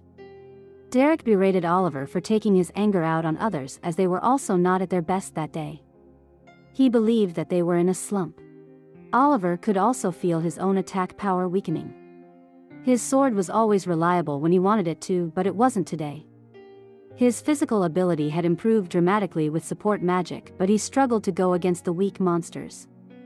It was evident that Derek was also getting pushed back by the monsters of the 92nd floor, which they had defeated easily in the past. He cursed himself and wondered how they got that weak. Everyone in the party felt miserable at their own powerlessness. That's when Runa berated them for not knowing something so simple. Oliver inquired Runa if she knew why they were like that. He also noticed that only Runa was the same as usual. Runa was too exasperated to even say anything. Annalie shouted at Runa to tell them the reason, and berated her for her attitude when her comrades were having trouble. Runa also felt that she had no choice since they were still comrades. She then proceeded to explain the reason why they were so weak. But suddenly she felt a huge magic pressure surrounding her. Everyone turned to see the source of the huge magic power, which was a flying monster. Oliver noticed the shiny black scales and enormous wings that covered the whole body. He was shocked to find that monster which kept approaching them. It was the 92nd floor's boss, the Black Dragon, and that's how Oren's premonition hit the mark. The Black Dragon's scales were like tar, they were almost immune to any kind of attack. It could take a man down at a moment's notice, and its aura was terrifying. Such a monster approached the hero's party now. Oliver was shocked to see the black dragon there. The bosses of the southern Great Dungeon must be on every 10 floors until the 90th floor and from 91st floor, each floor would have one boss. The floor boss is a powerful monster and it's impossible to defeat the similar ones in close combat, and the range of the boss is limited to its locations. They couldn't go beyond his territory and attack. Beside the Black Dragon is the boss of the 92nd floor which they had already defeated once with Oren. They were shocked to find it outside of its territory. Since they were already out of the zone, Oliver wondered what the hell was going on. The Black Dragon attacked them with a dragon roar. Derek and Oliver were thrown away by that. Oliver realized how terrifying of a monster it was once again. He saw Derek severely injured by the Black Dragon attack and Runa acted quickly and healed him. He called out to Philly for support, but it was too late as Philly was in a shock due to the dragon's roar. He didn't even know what the hell was going on. In the past, at this time, Oren would have buffed Derek and Oliver at this time. He wondered why Philly was not better at it than Oren. He was in a state of panic and only Runa's voice made him come out of his thinking. Runa proposed to retreat as she knew that they didn't stand a chance against it. But Oliver didn't want to do that. He was confident of his abilities so he refused to hear Runa's advice. He went ahead and shook Philly to make her return to her senses. He then asked her to buff him so that he could whack the black dragon. Philly casted total improvement on Oliver which boosted all his stats. Oliver had also felt his power rising to some extent so he thought that he could do it. He didn't expect that to happen, but he wanted to do his best. He decided to use all of his powers to overcome that situation. He gathered his magic into the sword and attacked the dragon using the skill, Magic Convergence. Philly was shocked to see Oliver's sword shining gold. Runa explained that it was Oliver's innate power. It's a completely different ability from human magic and monster magic. Oliver's ability, Magic Convergence, gathers magic from the surroundings. It was a basic principle, but it created a destructive power that was unmatched by ordinary magic. It was a light of spiritual energy, which was also the law of destruction. He was determined to attack the Black Dragon with his most powerful ultimate technique. He attacked the Black Dragon with Celestial Cut skill. It caused a huge explosion after that. Oliver believed that he caused considerable damage to it. During the previous subjugations, this skill had destroyed the dragon's wings. This time he aimed its wings again, so it won't be able to chase them even if they retreat. They prepared to leave the place. That's when the smoke which was caused by Oliver's attack cleared and the black dragon emerged from it. Oliver was shocked to find that black dragon unharmed. It decided to attack Oliver who it considered as the most threatening. Annalie warned Oliver but it was too late. Within a split second, it attacked Oliver. He was sent flying into the distance, which shocked every member of the party. Oliver managed to block that attack, but he was surprised to see that his celestial cut didn't work on it. The dragon also decided to maintain the distance from the hero's party as it had also used much of its magical power. The hero's party was in a predicament and Oliver couldn't think of a way to get out of that situation. Runa approached Oliver and inquired whether he was okay. Oliver expressed his concern to her. He wanted to know what to do in that kind of situation with a fearful face. Runa berated him as it was his job as the leader. She then asked him to stay still and treated his injuries. After healing him, Runa suggested using the door. The portable door connects two places and it was a magical tool that could be only used in the dungeon. However, they would appear inside a boss area of the upper floors. But they considered that situation as many times better than fighting a black dragon. Oliver also decided to follow Runa's suggestion. He revealed that plan to everyone and asked them to prepare for it. He had to admit that they had lost. He soon activated the door and asked everyone to enter. But the black dragon also noticed their plan. It soon sent a huge shockwave and repelled everyone. With that shockwave, Oliver and others weren't able to reach the door. Oliver was surprised as the Black Dragon had never done that in their previous subjugation. The Black Dragon charged at them with full speed. Seeing that, Oliver ordered everyone to get out of the way. As they managed to avoid it, it separated them totally from the door. Runa was sure that the Black Dragon had managed to see through their intentions. She didn't know what to do after that. But surprisingly, the Black Dragon made its way through the door and ignored the hero's party. Soon a bright light enveloped the whole floor. When the light subsided, the black dragon and the door disappeared from that place. Runa and Oliver were shocked to find that the dragon used the door they created. Annalie was relieved as they were safe. Runa berated her for saying that as that was the worst possible situation. The dragon could appear anywhere and they would be blamed for any damages it would cause. They never thought that the door would work with monsters. Derek inquired about their future plans. Runa wanted to go back to the Adventurer Guild to ask them to use Force Return. It was a guild map ability that would force all the people out of the dungeon. Since they won't know where the Black Dragon would appear, it was the best course of action. The guild would impose some kind of penalty on them, but they were not in a position to say anything about it. They decided to return to the surface quickly.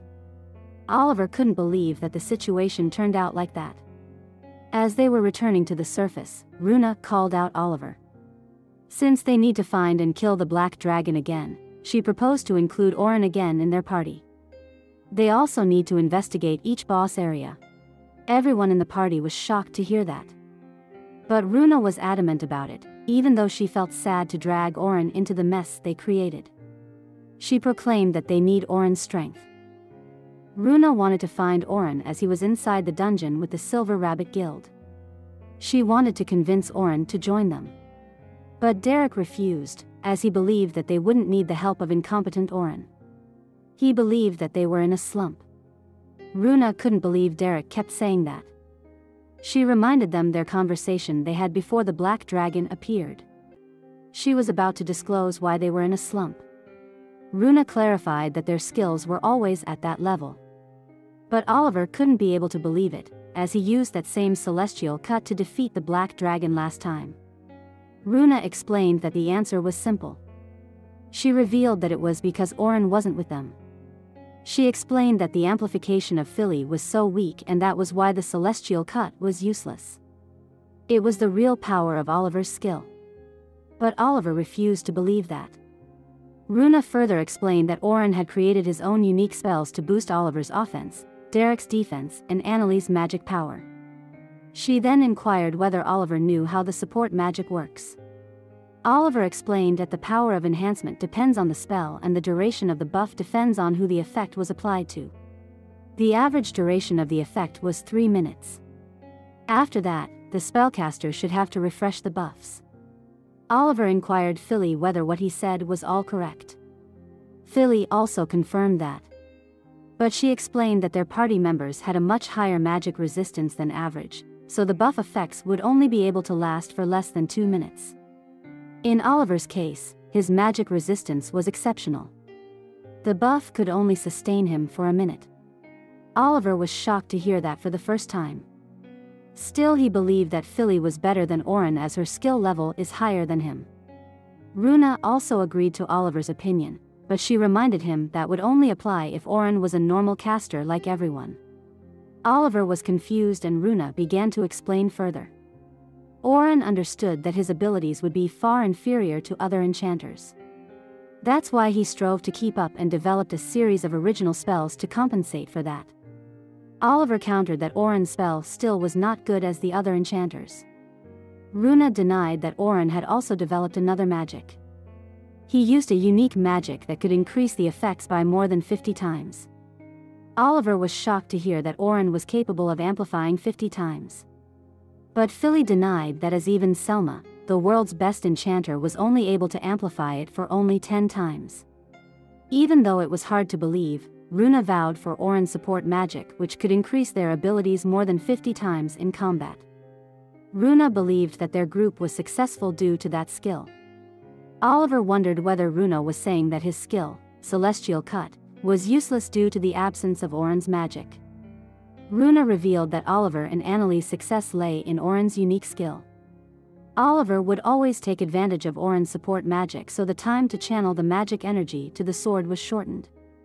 She believed that Oliver could have cut the black dragon wings if he charged for more time, but Oren's skill speed up that process by 50 times. But Oliver still refused to believe Runa's explanation and wanted it to be a lie. Runa then berated Annalie for mistaking Oren's support magic as her own power. Oren had tried to warn her about it numerous times but Annalie refused to believe him. Since Oren's skill speeds up their activation, Annalie could cast the advanced spells quickly, which need a large casting time. Runa berated Annalie for not using mana efficiently in advanced spells.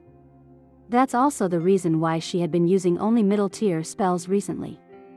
Annalie wondered why they didn't tell her about it. Runa explained that it was because they were already on lower floors that time. That's why they wouldn't have a leeway to let her train in that dangerous situation. Oren always tried to take Annalie to the middle floors to train her, but she always refused it as troublesome. Annalie didn't have anything to counter that. Derek wondered whether his defense was also enhanced. Runa confirmed that but it only lasted for a moment. But in that instant, Derek would gain tremendous power. She also revealed that Oren deployed unique magic on their equipment which made their hunting easier. Oren's support magic reduced the weight and increased the efficiency of every equipment. Everyone was shocked to hear that. Runa clarified that was why she was against the expulsion of Oren. Oliver understood Runa's opinion, but he also knew that it was too late for that now. The hero's party successfully managed to reach the surface. The other explorers who were at the entrance of the dungeon also noticed them. They were amazed at the hero's party efficiency as they believed that they had already cleared it. They praised Hero's Party and believed that they would surpass the 94th floor soon. They also exclaimed that they were called as a hero's party for a reason. They also believed that S-rank groups were on another level and they could have defeated the lower level monster easily. On the other hand, everyone was embarrassed to hear the compliments as they just made a terrible mistake. Oliver cursed himself in that situation. They had endangered all the explorers in the dungeon. They weren't even able to do anything against the Black Dragon, they had defeated in the past. He believed that he didn't deserve to be called a hero. Oliver decided to solve that problem first as soon as possible. He also realized the problems caused by the absence of Oren in the hero's party. Few hours earlier, Oren entered the Great Southern Dungeon. But he strangely had a bad feeling about their last day explorations of the Silver Rabbit Guild. Oren had entered the dungeon for the last exploration day. This time they had started from the 36th floor, which they had completed the previous day. Their goal was to capture floors 36 to 50.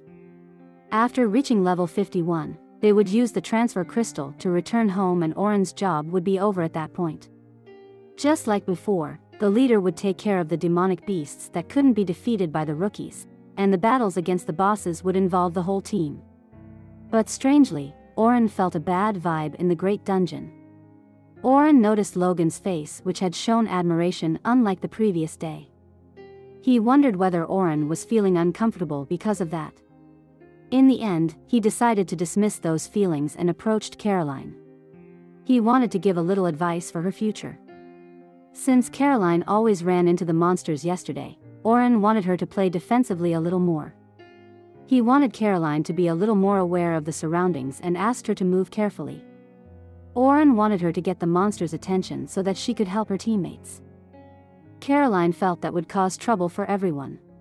She wanted to take the job and fight on the front line for that reason.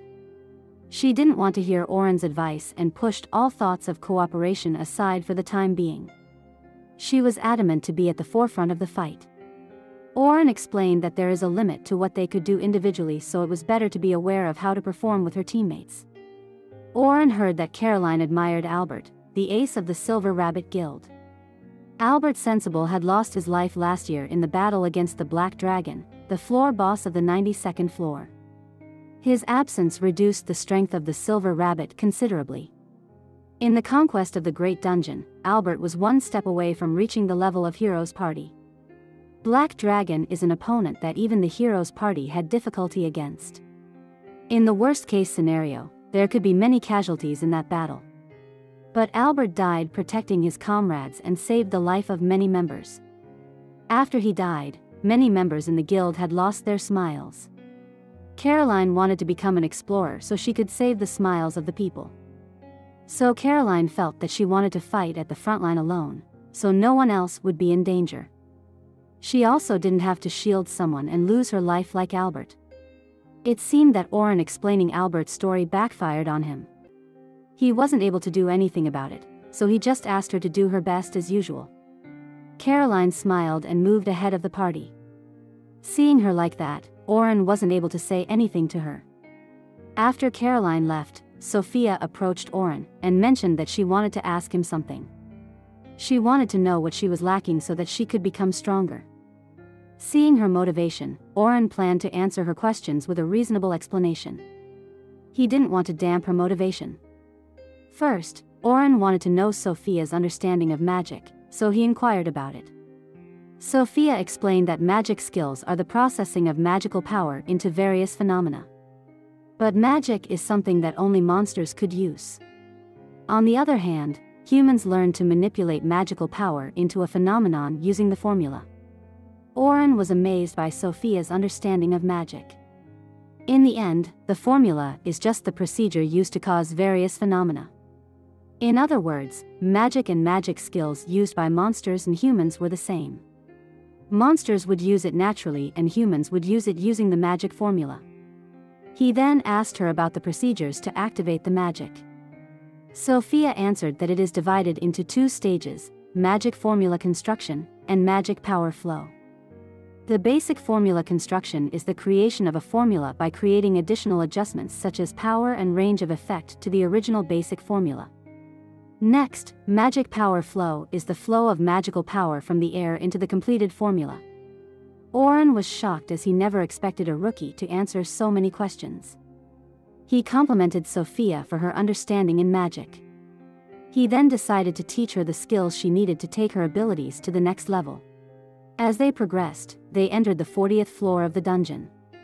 Oren decided to teach Sophia about parallel construction. It is the art of building two or more formulas at the same time. It is no exaggeration to say that advanced magicians need this skill.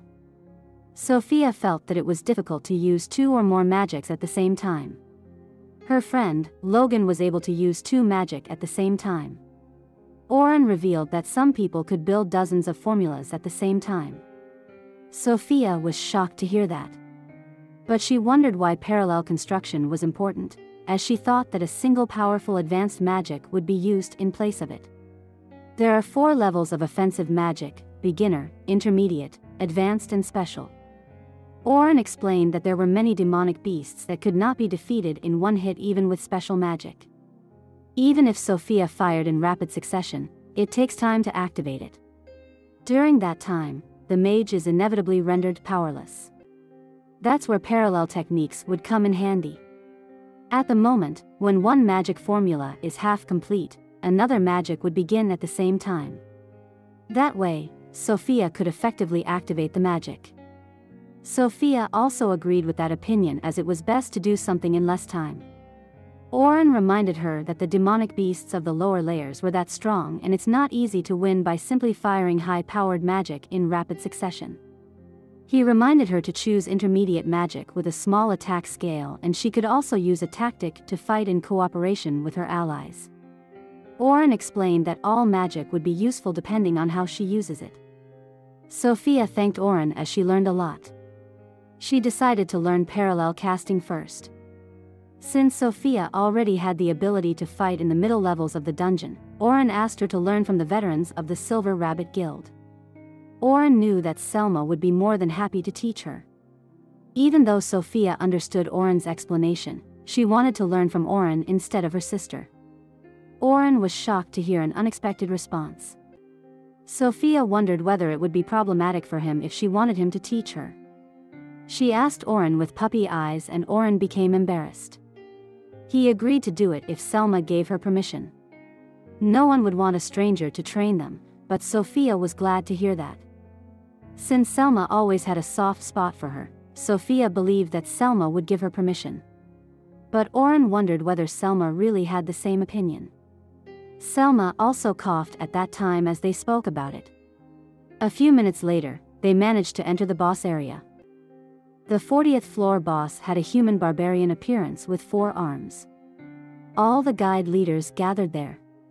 Selma conducted a meeting there, since it was the first time they were going to fight as a group. Oren then went to meet the other two frontline fighters.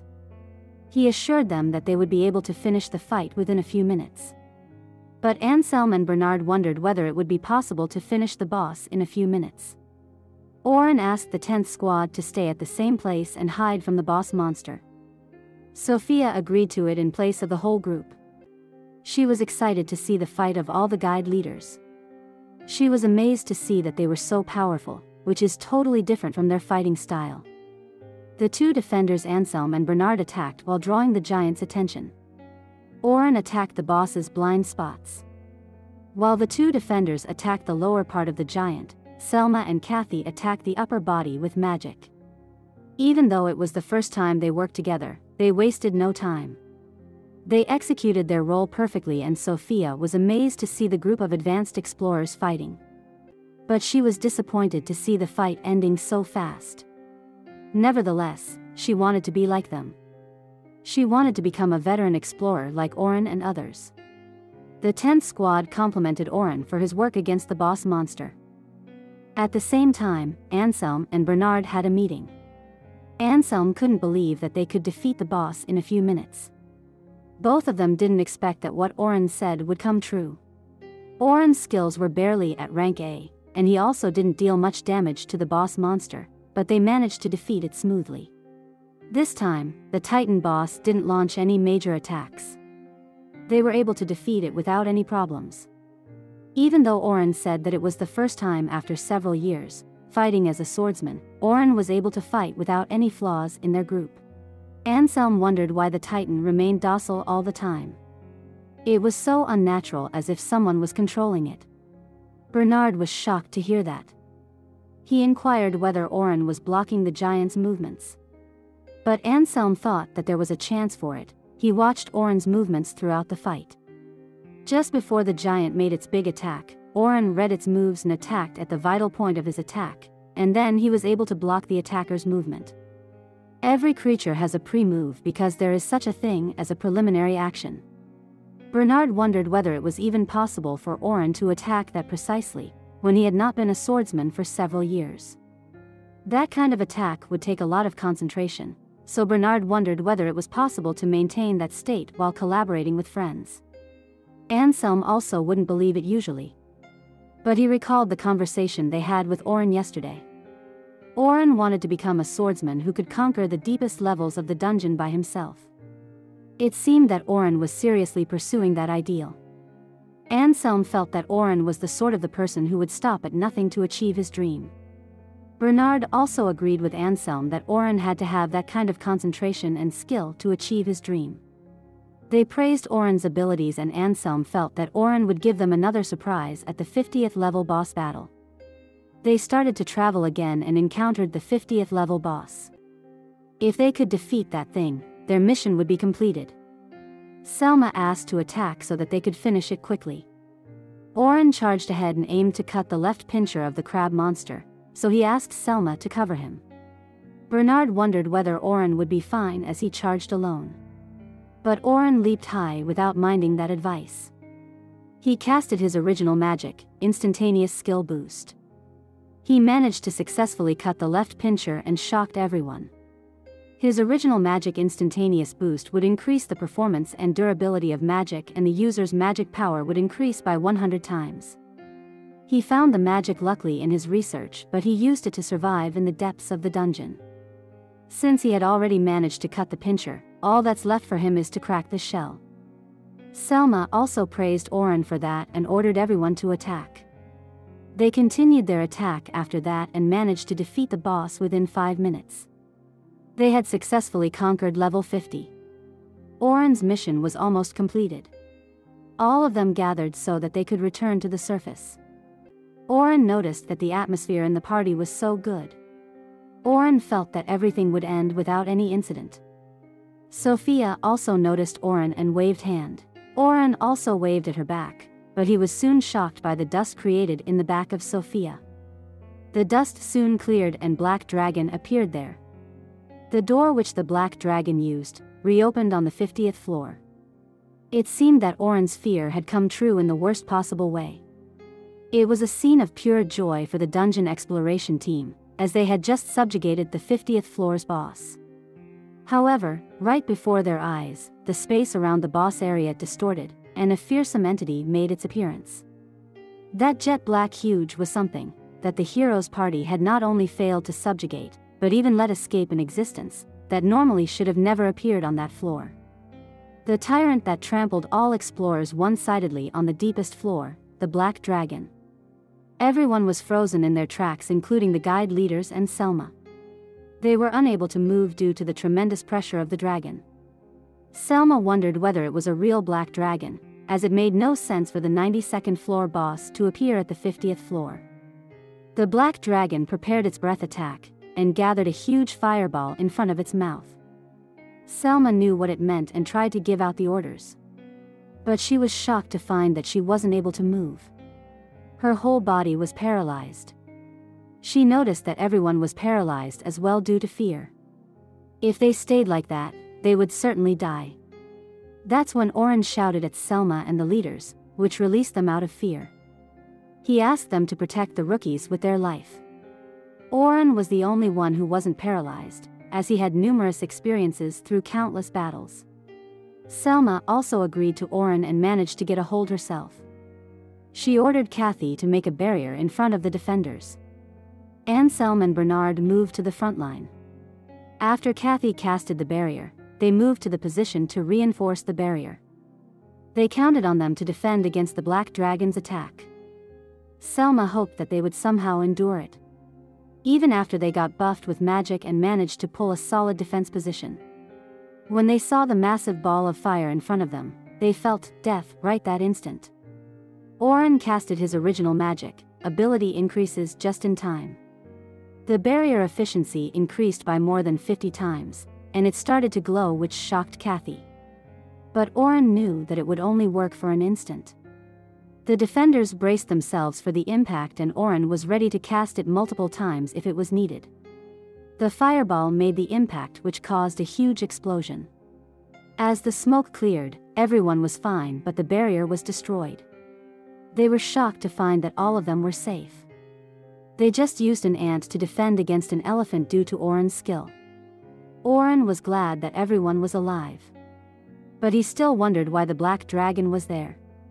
He also knew that there shouldn't be enough space between the floors for such a large magic beast to move around.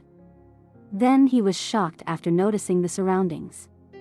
The 50th floor grew wider in space after the attack of the black dragon. It was an irregularity after an irregularity. Even though, Oren didn't know why it had happened, he had to think of a way to get everyone back safely. Since they had already defeated the 50th floor boss, the passage to the 51st floor was now open. Meaning, they were close to the transfer crystal. Oren knew that they would be able to escape if they could move faster. But all the other members' movements became sluggish due to pressure generated by the Black Dragon. Oren knew that they wouldn't be able to make it. He was the only one who could move normally in that situation. He even had a thought to escape by himself. Since magic beasts have a tendency to go after big groups, he was sure that the black dragon would attack the rookies. Going by his assumptions, he would be able to escape from there safely. But he wasn't that type of person.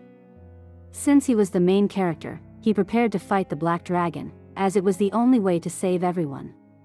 Right now, Oren's role is to bring those kids, who just became explorers to the 51st floor safely. He didn't want to do something like betraying everyone. He was determined to protect everyone there. Since there were too many who couldn't move due to fear, he had to discard the option of trying to buy time. So he drew two of his swords and amplified it with his original magic. He had no choice but to fight and win, if he wanted to save everyone. Selma was surprised to see Oren charging at the black dragon all alone. Oren readied his sword and threw it towards the black dragon. He aimed it towards its eyes. But the black dragon just closed its eyes, and its eyelids were strong enough to repel the sword attack. Anselm and Bernard were shocked to see that absurdity, as everyone knew that a dragon could dodge such a straightforward attack. But sooner they realized that a rune was going to hit at the moment the black dragon closed its eyes. He jumped high and attacked the dragon using his momentary increase in skill boost. It created a huge impact, and the whole floor was once again covered in smoke. Oren gritted his teeth and attacked it to the end.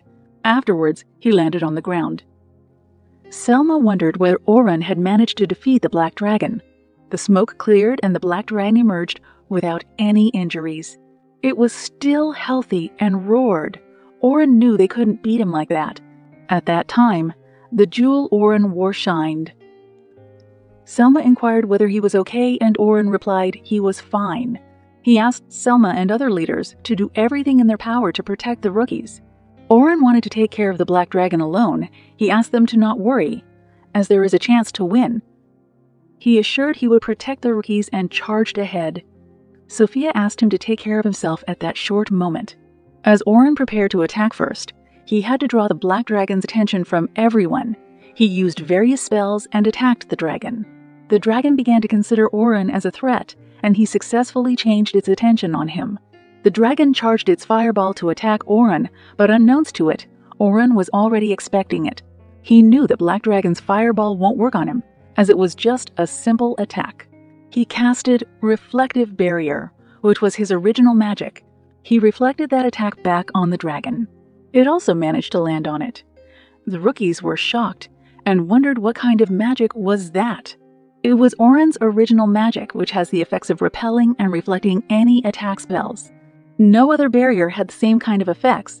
He wondered what it would taste like for the black dragon to receive its own attack back. When the smoke cleared, it once again roared. Selma was surprised to see the dragon unharmed again after that as well. Oren managed to make a decision at that point. He began to use his skills on himself as he prepared to take on that black dragon. He casted multiple magic circles around himself. It was his all skills increase spell, which would boost his stats to its limit. The six basic types of support magic are power increase, life force increase, magic power increase, endurance increase, endurance increase, and technical power increase. They are built in parallel and activated simultaneously. Its difficulty is high, just like Philly activated against Oliver in the previous battle. It can only be used by high level enchantment mages. Selma also noticed Oren, but Oren's magic increase is only double his power, and it's weak. She wondered whether to provide support to him just when the buff disappears. Suddenly, Oren whispered, All skills increase, overlap. Selma was totally taken back as Oren activated his support magic once again. The effects then increased to triple, which shocked everyone. But it didn't stop there and went quadrupled. And at last, his skill, all skills increase, managed to multiply his stats quintuple times. Selma felt that was ridiculous. She never even heard of multiplying to increase all skills, and she had never heard of multiplying by five times. She was scared of Oren's support magic. She wondered how much combat power Oren has now, as she couldn't even guess. After increasing his overall skills, Oren moved towards the Black Dragon. The Black Dragon, which watched the show in silence, also began to move. It once again roared and used its tail to attack the approaching Oren. Oren noticed that and disappeared from that place just when the tail was right before him. Even its tail is enough to destroy the floor's ground. Everyone was shocked as they thought Oren was hit by that attack. That's when one of the rookies noted that Oren was hanging on the cliff. Everyone was shocked as they weren't even able to notice his movements. He moved to that place in the blink of an eye at an amazing speed. Selma knew it's not enough to say that Oren's just improved his physical abilities. She wondered what the heck was that magic Oren mentioned before. Support magic is originally impossible to accumulate. Casting the same support magic in succession would only reset the time of the effect. However, Oren's original magic overlay literally allows one to accumulate support magic. It's a technique established by a cheater using a magic bug. Quintuple is a state in which overlap can be activated, since the value of Oren's support magic was doubled by overlap, and the effect of the buff is multiplied by 5 with quintuplication. Now, Oren is at a different level of power. However, this magic has two disadvantages. First, this magic has no effect on anyone other than Oren, and secondly, it can only be used in short-term battles. This is because it takes a toll on human's body. Oren began to bleed nose due to the pressure. It involves parallel construction of up to 30 techniques. The burden on the one who uses it is too high. So, Oren had decided to end the fight quickly. The story shifted to Oren's childhood. He didn't remember what had exactly happened. But when Oren and Oliver returned after the training to the town, it was filled with numerous dead bodies. Both of them filled with despair for the first time in their life. It seemed like a group of bandits had raided the town and killed everyone in sight. Both of them cried as their homeland had fallen that day. Even though they were a child, they buried the dead bodies of the people by themselves and paid their respect to the dead. On that day, Oliver decided to become stronger. He didn't let anyone take anything from him again. Oren also felt the same and wanted to become stronger. Even if he was being unreasonable, he also didn't want to lose anything. He vowed that day, no matter the circumstances, he will be strong enough to protect what is important to him. That time, the world was being unreasonable towards him, and he became an explorer to find power and knowledge. Unlike that time, he wanted to protect everyone, and he went beyond his limitations. He reminded himself that the situation is not complicated, and he just had to defeat the enemy in front of him. Seeing Oren charging like that, Selma was shocked to see him really trying to defeat the Black Dragon. She knew that the supposedly impossible increase all skills. With overlap, it must be hard just to build the formula. All she could do was protect the rookies there so Oren could concentrate. But still, there was considerable burden on Oren. Once again, Oren approached the black dragon. As he moved near it, he noticed the dragon tail moving slightly, which indicated that it was going to use its tail once again. Oren dodged it by jumping. His jump was several meters higher as he had his stats all increased. The black dragon targets him in midair. Selma was also worried for Oren as he was unprotected at that time. Oren also complimented that it was a nice move, but he was better and one step ahead of it. He created a foothold with his magic. Selma was once again shocked by Oren's magic. With a foothold, he successfully dodged the dragon's attack. Even though he talked a lot about his superiority, he sighed as it had successfully worked. Other than Selma, it shocked everyone as they never had seen this kind of magic. This is what Oren's unique ability Convergence of Magical Forces is all about. It is a power that only Oliver and Oren can use to gather magic and materialize it. Oliver used it as a method of attack. It has a wide range of uses and is inherently a very, very super ability. Oren jumped from that foothold. If one could unleash its magical power, it can be used to propel him. It can also be used for aerial movement, just like Oren uses. As Oren leaped forward, he used increased sharpness and increased durability to reinforce his sword. He then used his special skill Instant Skill Increase and slashed the neck of the black dragon. But it did nothing and only left a few scratches on it. Still, it stinged the black dragon and it roared. The Ten Squad was amazed at that scene. As everyone was rejoicing, Oren landed on the floor. His breathing was uneven as he was affected by the buff he casted on himself. Selma also noticed Oren's expression and worried. The dragon was quite irritated with Scar, and it flaps its wings for the next attack. Soon a purple mist covered the whole place, and Oren knew about that attack. The next second, a huge explosion occurred at the place he was at. Everyone was surprised at that attack, as the dragon just waved its wings slightly. As the smoke cleared, Oren was not hurt. Sophia was relieved to see Oren managing to dodge that. When all the smoke cleared, a large dark spear made of magic had struck the floor surface. The dragon shape shifted the mist and turned it into a weapon. Sophia had never thought the black dragon had that type of attack, that mist is probably a result of convergence of forces. It's magic that harnesses magic from its surroundings. The Black Dragon's main attack is a quick strike with a fireball, or its tail. But those are not the only attacks it can do. The real threat is that purple mist. That mist sometimes changes shape like a whip, sometimes like a spear, allowing attacks in all directions. When they shut it down before, number of attacks was not like that. That's when Oren knew that the Black Dragon was not fighting seriously. Oren wanted the dragon to take seriously. He soon casted Fireball and attacked the Black Dragon with it. As soon as the fireball exploded and covered its sight, he leaped forward and aimed at its neck once again.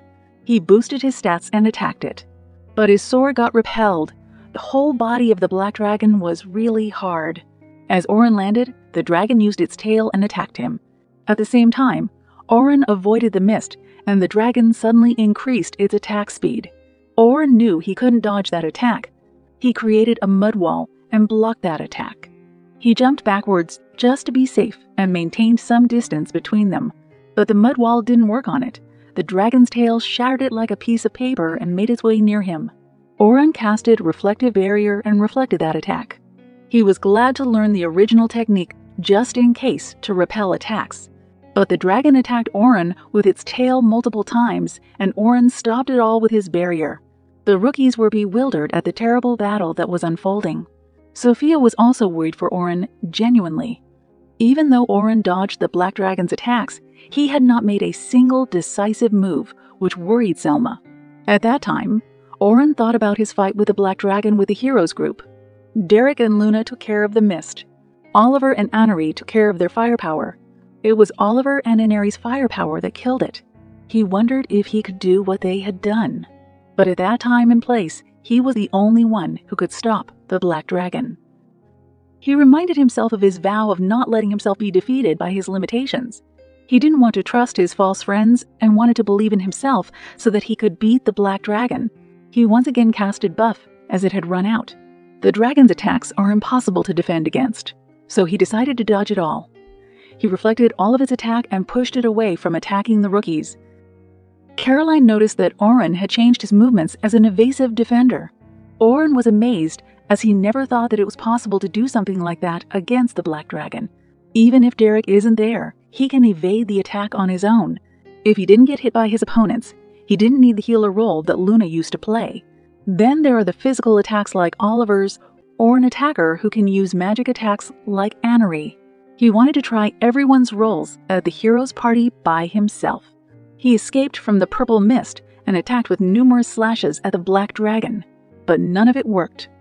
Then he charged his weapon for a big attack as he wanted to bring the black dragon's attention to him. At the same time, he also activated numerous spells around the black dragon. The whole time, he was jumping around to set spells around the air. He knew that even the black had never seen that many spells at once. It would also never be hit by so many spells at once. He activated all the spells and attacked it.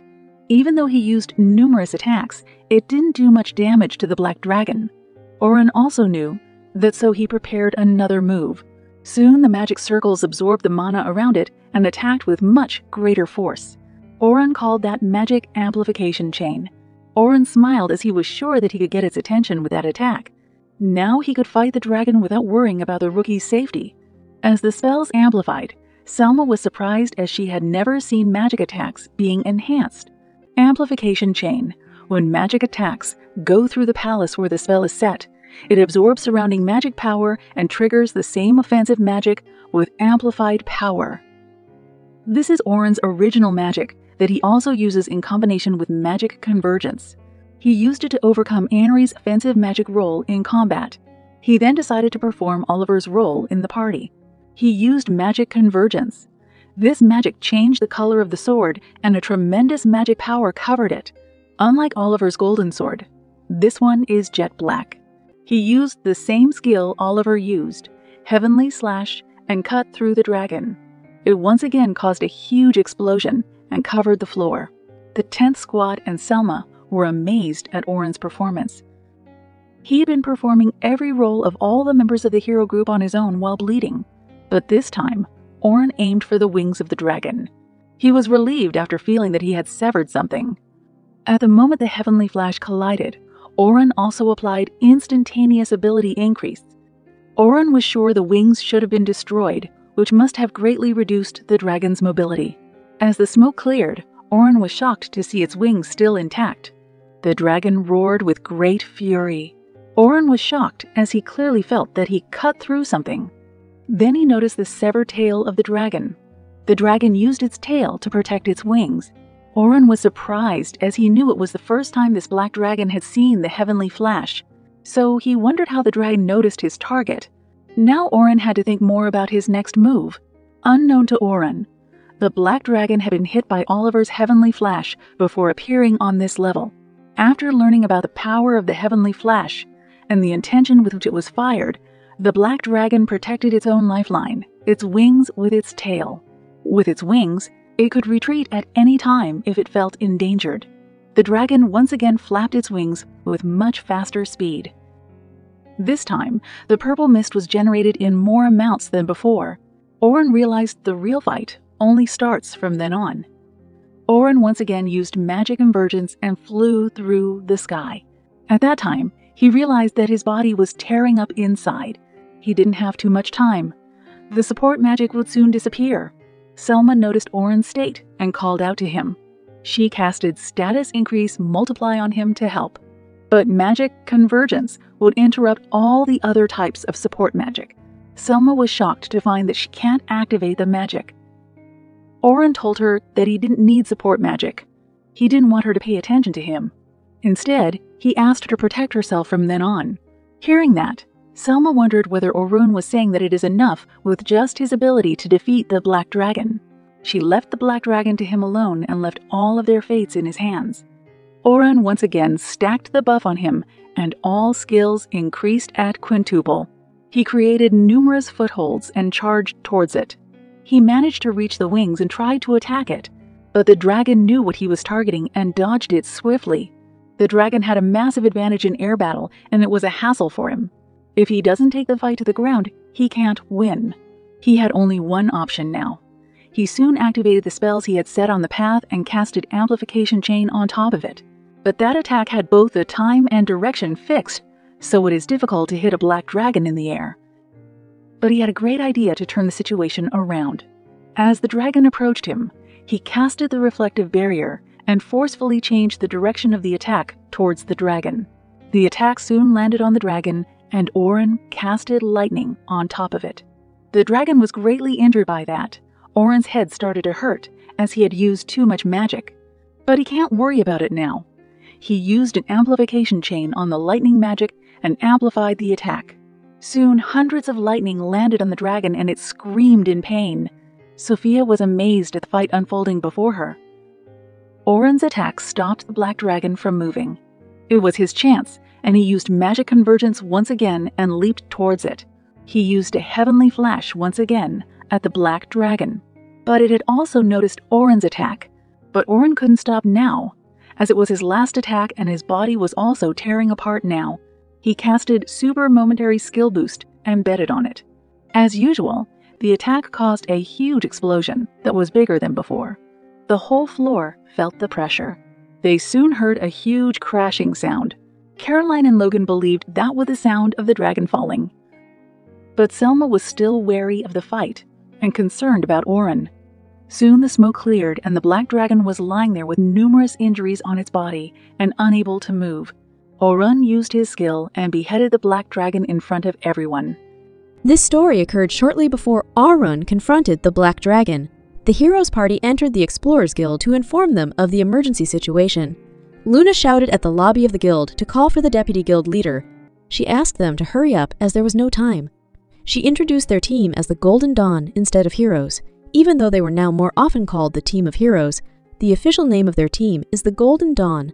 Nine years ago, Orun, Oliver, and Luna decided on that name. Then Luna was called by someone. She is an employee of the Explorers Guild named Eleonora. She asked the others to wait in the conference room as the other staff members are calling the guild leader. Soon, Eleonora guided them to the conference room, and all the important officials of the Explorers Guild arrived there. Luna first apologized to them for interrupting their important schedule. Then she explained to the guild leader Leon Conti and the other executives that the Golden Dawn had come there to ask them all for a favor. She then revealed they needed all the explorers of the Great Labyrinth returned through deportation. The executives were shocked by that, and the guild leader, Leon wondered what problem they had caused. The negotiations should have been handled by Oliver, as he is their leader. But he had been quiet for the last few hours, and he was completely useless. So far, Luna would always let Auron handle this sort of thing. But now, out of all the team members of the guild, she was the only one capable of negotiating. Deportation is a magic spell that involves many people, so Leon inquired their reason for using that. Even though the situation is dire, as a guild leader, he wanted to hear an explanation. Luna decided to make it brief due to limited time. She revealed there is an extremely high possibility that the Black Dragon, the floor boss of the 92nd floor, has moved to the upper, middle, or lower boss area. Leon was shocked to hear that. While they were there, if other explorers met the Black Dragon, they would die before they even had a chance to defend themselves. So after deporting the explorers, Luna promised they would take care of the Black Dragon. They need to deport all the explorers to save others in the meantime. All members of the heroes party bowed to the guild leader, Leon. He then decided to approve the use of it, since it was an emergency situation. But he needed them to explain it more in detail later. Soon Leon asked the approval of executives to activate the deportation spell. The truth of this information is uncertain to everyone in the guild, and Luna doesn't know to what extent they will believe her. But they had no choice other than that. Luna also prepared herself to face some trouble for their mistakes. In the end, there was no one in the guild to oppose their requests. So Leon authorized them to use the deportation spell of the Great Labyrinth. Luna thanked them for their help, even with little information. Luna then made another request regarding deportation. She wanted people from levels 45 to 50 to move to the square near the Great Maze. Former Golden Dawn member Orun seems to be scouting the area and Luna liked him to join them to defeat the Black Dragon.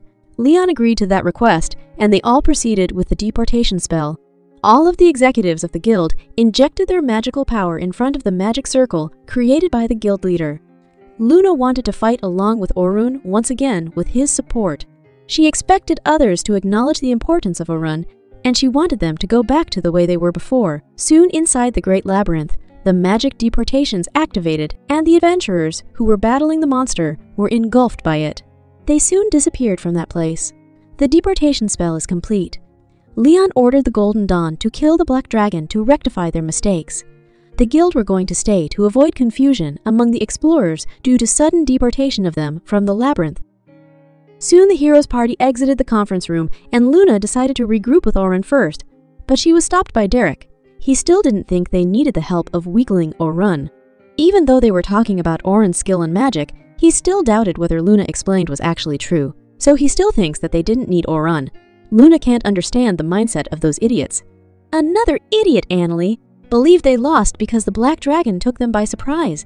Both of those idiots believed they would be able to handle it if they had known about its attacks from the start.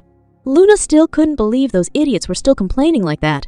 They were too blind to the reality of the situation. She decided to explain to them very clearly this time that they are the weakest among the S-ranked teams.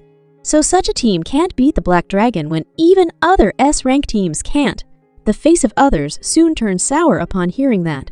Derek refused to be treated as the weakest as they were the renowned team of heroes. Luna once again said that they were able to achieve that fame because of Auron, especially Derek and Annalie. Without Auron's support, both of them would only be a ranks, so she asked them to know their place.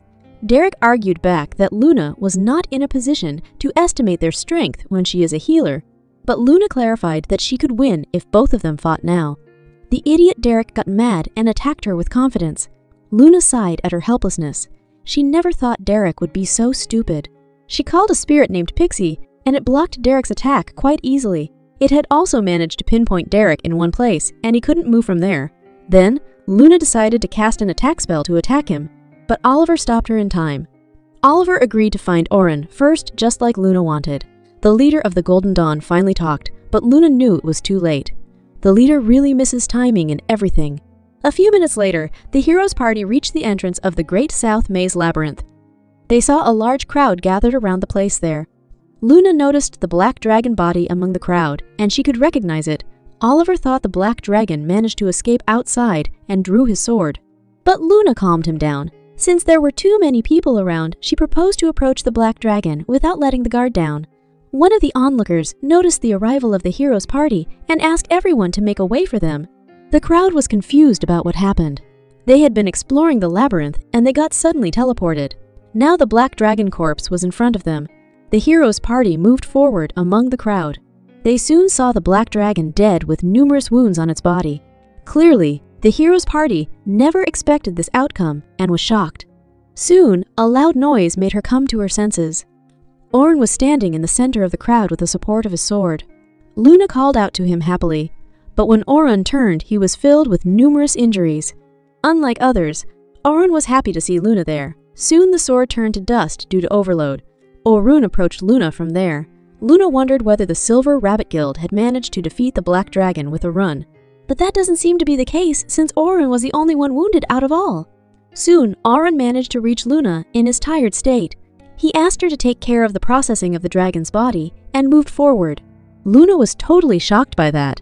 If the Black Dragon was killed by Auron and the Silver Rabbit Guild, they won't let the rival guild, Hero's Party, take care of processing the valuable dragon's corpse.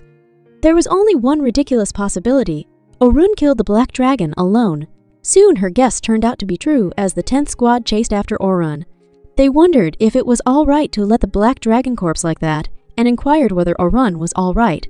The Black Dragon that even the whole Heroes Party couldn't compete with was killed by Orun alone.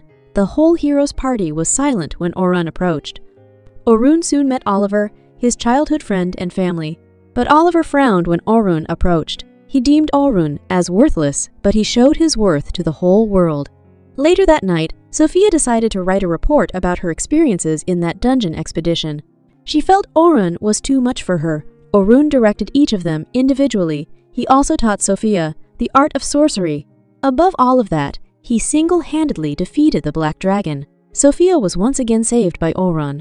While no one could move, Orun fought to protect them. Sophia thought Orun's expression, at that time, was really cool.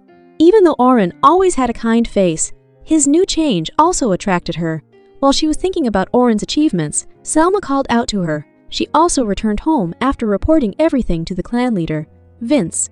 But she was too tired by the whole incident that took place. Sophia also noted how Selma's face looked terrible. It's been a long time since Sophia had seen his sister tired. Selma also went ahead and slept in her bed. Sophia asked her to be mindful of her clothes, which might wrinkle. She asked Selma to get at least a shower before going to bed. Seeing there was no reaction, Sophia then proposed to take a bath together. The sister lover Selma agreed without a second thought. So they both went to sauna inside their guild. Selma had to agree that it was relaxing for the mind and body after having a tired day. She thanked Sophia for that, and Sophia was glad to see his sister in a better shape. Then Sophia wondered what bothered Selma so much. Sophia noticed how Selma looked strangely afore. Hearing that, Selma asked her thoughts about Orun and the Black Dragon fight. Sophia felt Orun was very strong. But that was the only way of seeing that fight. It was too much of an exaggeration, but on the other hand, the rookies didn't get how Orun's fight was out of the norm. But Sophia felt that it was only normal for others to feel like that. Selma was shocked to hear that. Sophia just implied that she had learned something from that fight, so she inquired about Sophia's finding. Sophia was taken back to see her like that, so she asked Selma to calm down. Sophia then explained that Orun's movements were completely inhuman, and he even used magic she had never seen before. Other than that, Sophia also thinks that it was a basic fight. Orun was doing basic attacker and defender fighting on the backline.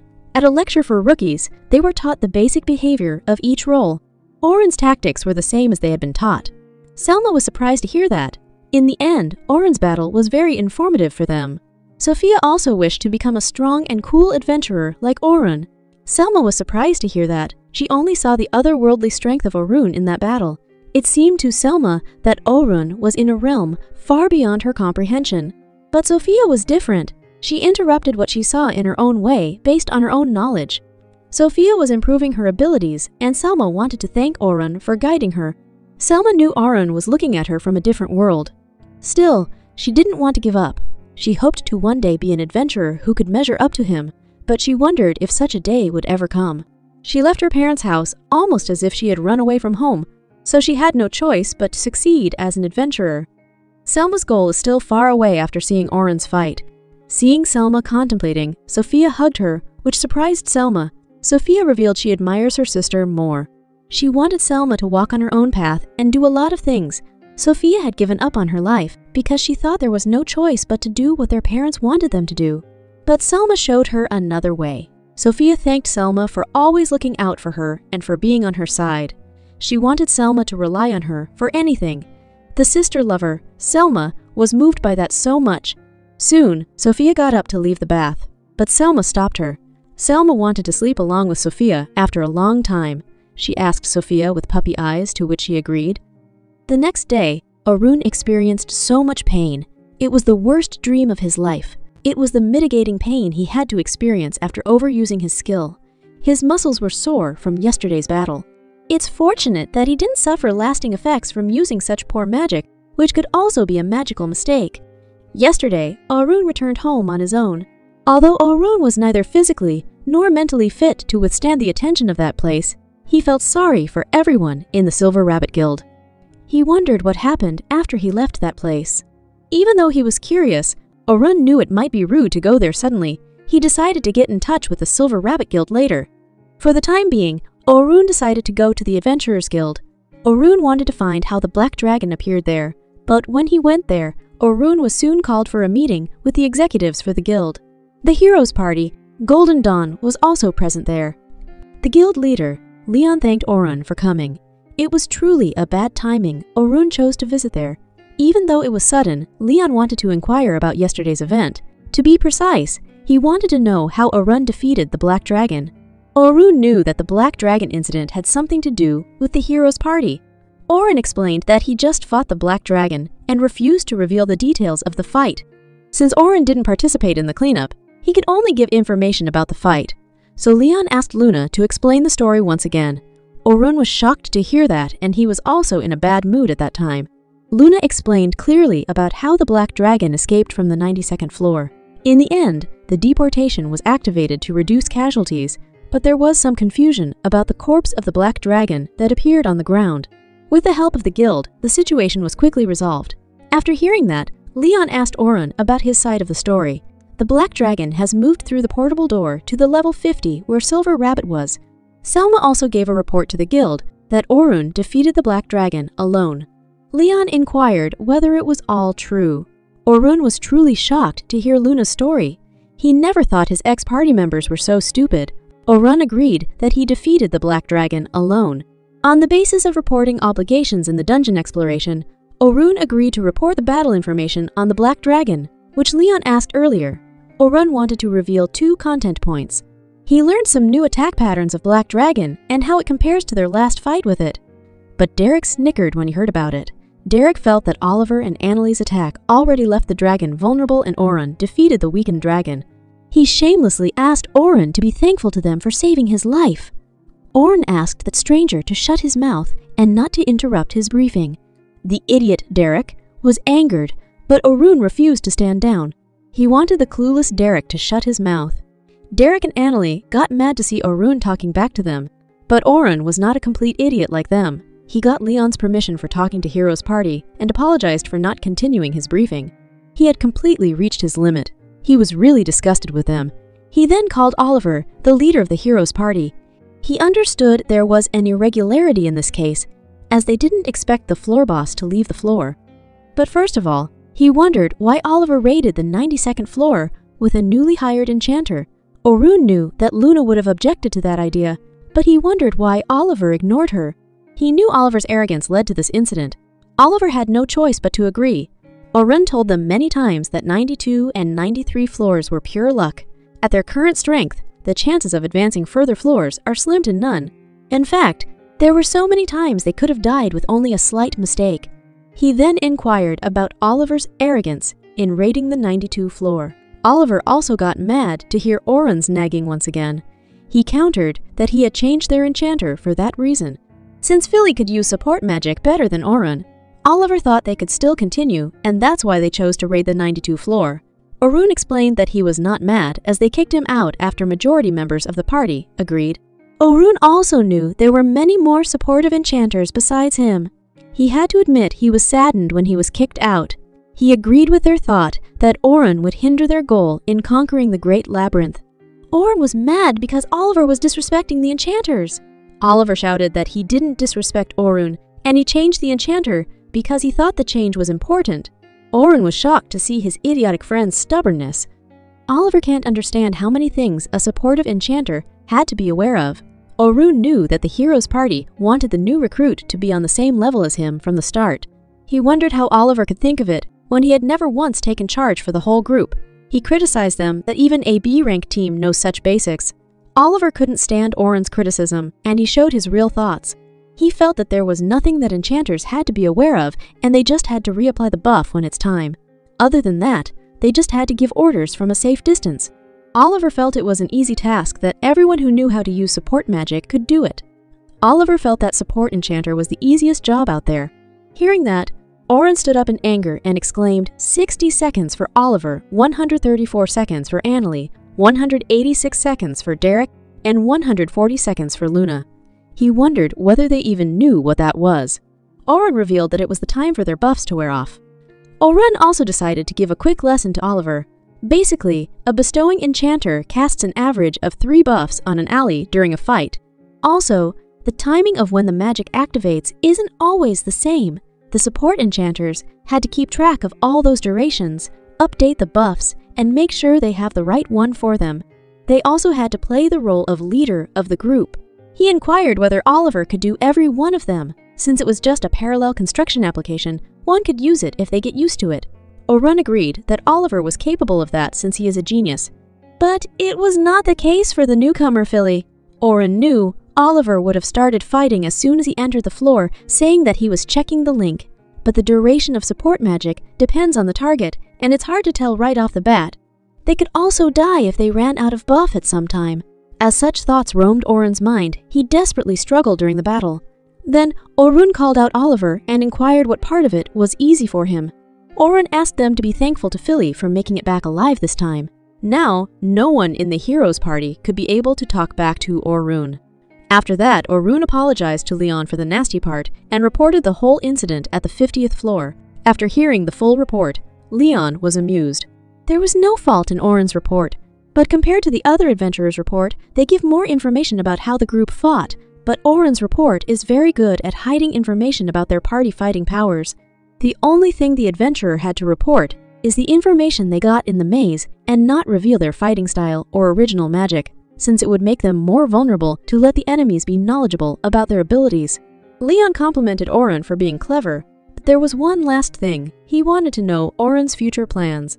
Since Orun managed to defeat the Black alone, Leon was sure that the teams and clans that wanted him would surely increase. There is a possibility that they would fight over him, and that would cause chaos.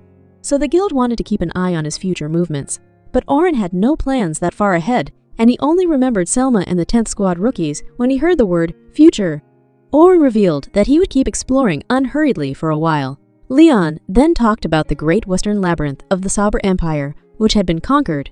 Currently, or Un is in the kingdom of Novitant, southwest of the continent, adjacent to the northern part of the Novitant kingdom, and occupying the western part of the continent is the Saber Empire.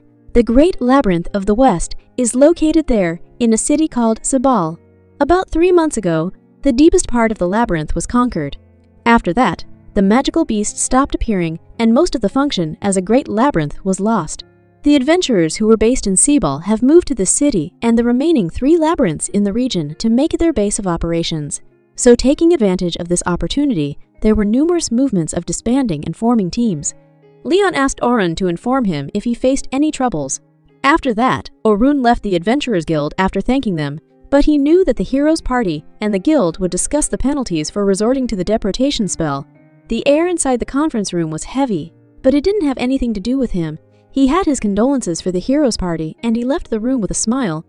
The next day, Selma went to the inn, where Orun stayed to inquire about his health.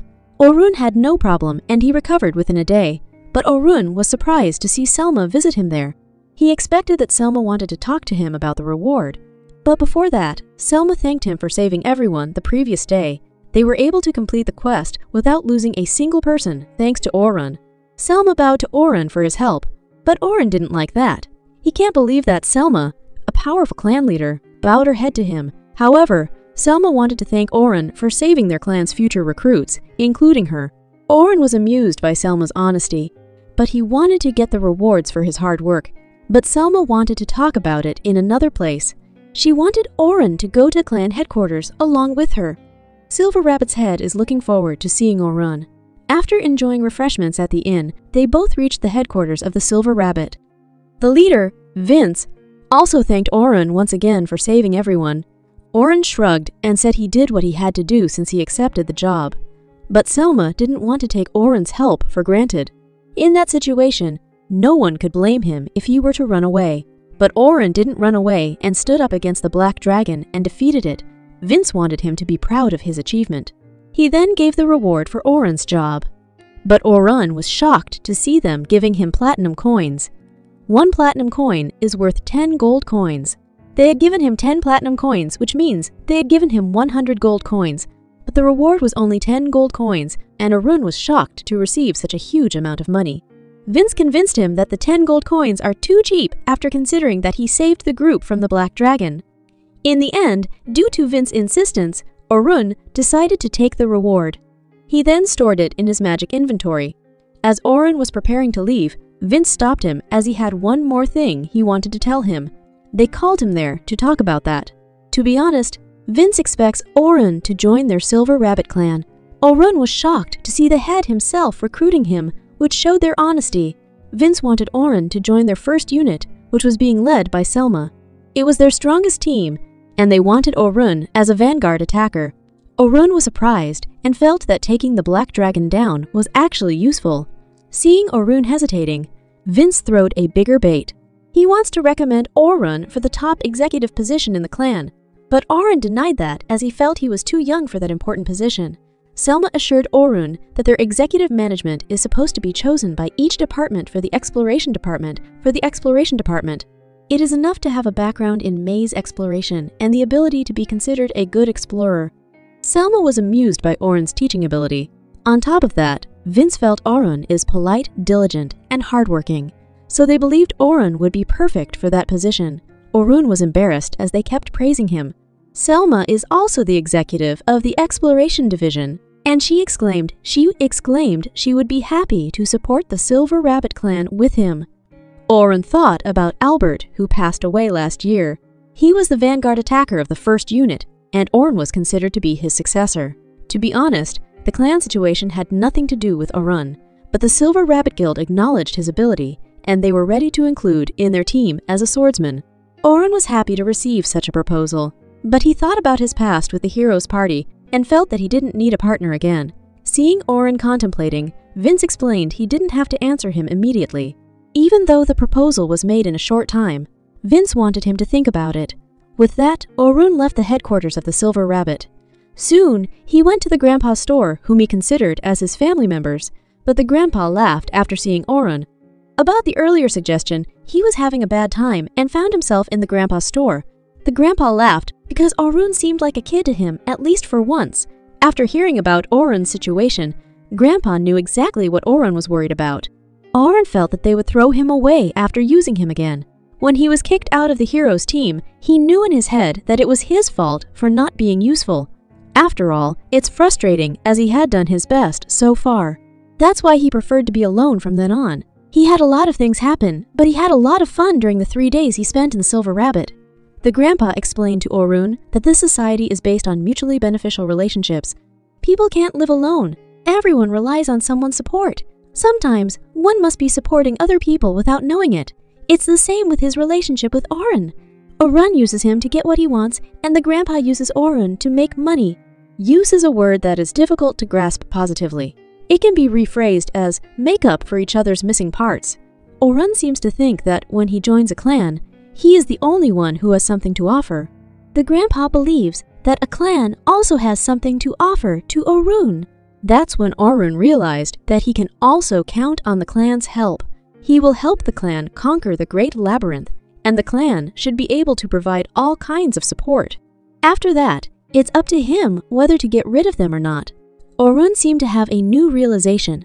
The grandpa explains that whatever he decides, he would face regret, whether he joins the Silver Rabbit or not. He will regret it one way or another. Orun needs to make a decision considering the future. That's why it's important to make a choice that would make a little bit of sense to him. After hearing the grandpa's advice, Orun left the store thanking him. He even promised that he would buy something next time After leaving the store, he walked around while thinking, even though Grandpa helped, he still hasn't made up his mind yet because he was afraid of a future of regrets. Orun couldn't think there's any choice he can make that makes sense to his future self. As he walked, he came upon a place with a clear moon view. Seeing it reminded him of Luna, the only friend who didn't betray him. Luna's name meant moon. As he was mesmerized by the moon, Sophia called him out. Orun was surprised to see Sophia there. He wondered why she was there, as it was late at night. Sophia explained that she got her sister's approval and that place isn't far from the clan headquarters. She inquired Orun for his purpose being there. Orun explained that he just had some thinking. To do so, he found a nice and breezy place. Then, he inquired Sophia her purpose to be there at that time. Sophia smiled and revealed that it was her favorite place to hang out. If something goes wrong, Sophia would always see the sky in that place. It gives her a peace of mind. Afterwards, she remembered that she forgot something important. She thanked Orun for saving her the previous day. Orun is embarrassed as it was the third time he was thanked for his job as the leader. Even though Orun is humble, Sophia was saved two times by Orun and she was thankful for that. She was prepared to do anything for Orun to repay the favor. Orun also agreed for that, but he didn't mean to do that. Then both of them looked at the moon and enjoyed the scenery. Seeing her, Orun wondered whether Sophia liked the moon. Sophia agreed to that. She had been looking at the moon since she was a little girl. The moon shines with the same intensity, even in dark places. So Sophia feels she is receiving some kind of power when she looks at it. Then she wondered whether Orun knew the meaning of their guild, Silver Rabbit in the night sky. The moon is also called the beacon of the night. Just like the moon, the Silver Rabbit wanted to be a beacon for all the explorers. Sophia felt proud in explaining their guild name, and Orun just listened to everything calmly. But the word beacon resounded to him. He felt like he had the same discussion with someone a long time ago. It may sound far fetched, but Sophia's world changed when she joined the Silver Rabbit Guild. She doesn't know anything about the future, but she had a feeling that if she stayed in Silver Rabbit, she would soon find something. Orun didn't think Sophia was exaggerating about the Silver Rabbit Guild. The environment greatly influences a person's value. If she is in a place where there are a lot of people like the members of Silver Rabbit, she will have many opportunities to come into contact with ideas and points of view different from her own. As a result of the accumulation of those experiences, Orun thinks Sophia feels like the world has changed. Sophia also agreed with Orun's words, which have just entered her heart. Since she met many people in Silver Rabbit, her world has changed. Orun inquired about Sophia's thoughts about the Silver Rabbit Guild. Sophia felt the Silver Rabbit Guild showed her different paths and the guild which gave her a smile. She could proudly say that the guild was her home now. Orun was surprised to hear that answer. Seeing Orun spacing out, Sophia wondered whether her answer was not good enough, but Orun thanked her for answering all of his questions. He was really thankful for seeing Sophia there at that time. But Sophia had a big question about why Orun was asking her questions about the guild. Orun revealed that he just wanted to know more about the guild that he will join in the future. Now it was Sophia's turn to be shocked. Since the moon has completely set, Orun proposed to take her back to the clan headquarters, since he had some business to attend there. Soon both of them went back to the clan. After leaving Sophia to her room, Orun went to meet the guild leader, Vince. He agreed to join the guild as per his proposal. He also changed his way of addressing Vince as leader. That day, the exiled member of the Heroes Party joined the rival guild Ace team, the Silver Rabbit in the Night Sky. Since whatever Orun chose, he would regret it one day anyway, so he decided to stick with what he feels now, because he thinks it's a choice that his future self will be at least somewhat satisfied with. Suddenly, Selma entered the room and congratulated Orun for joining the team. She gave him a uniform she had already prepared and asked him to try it on.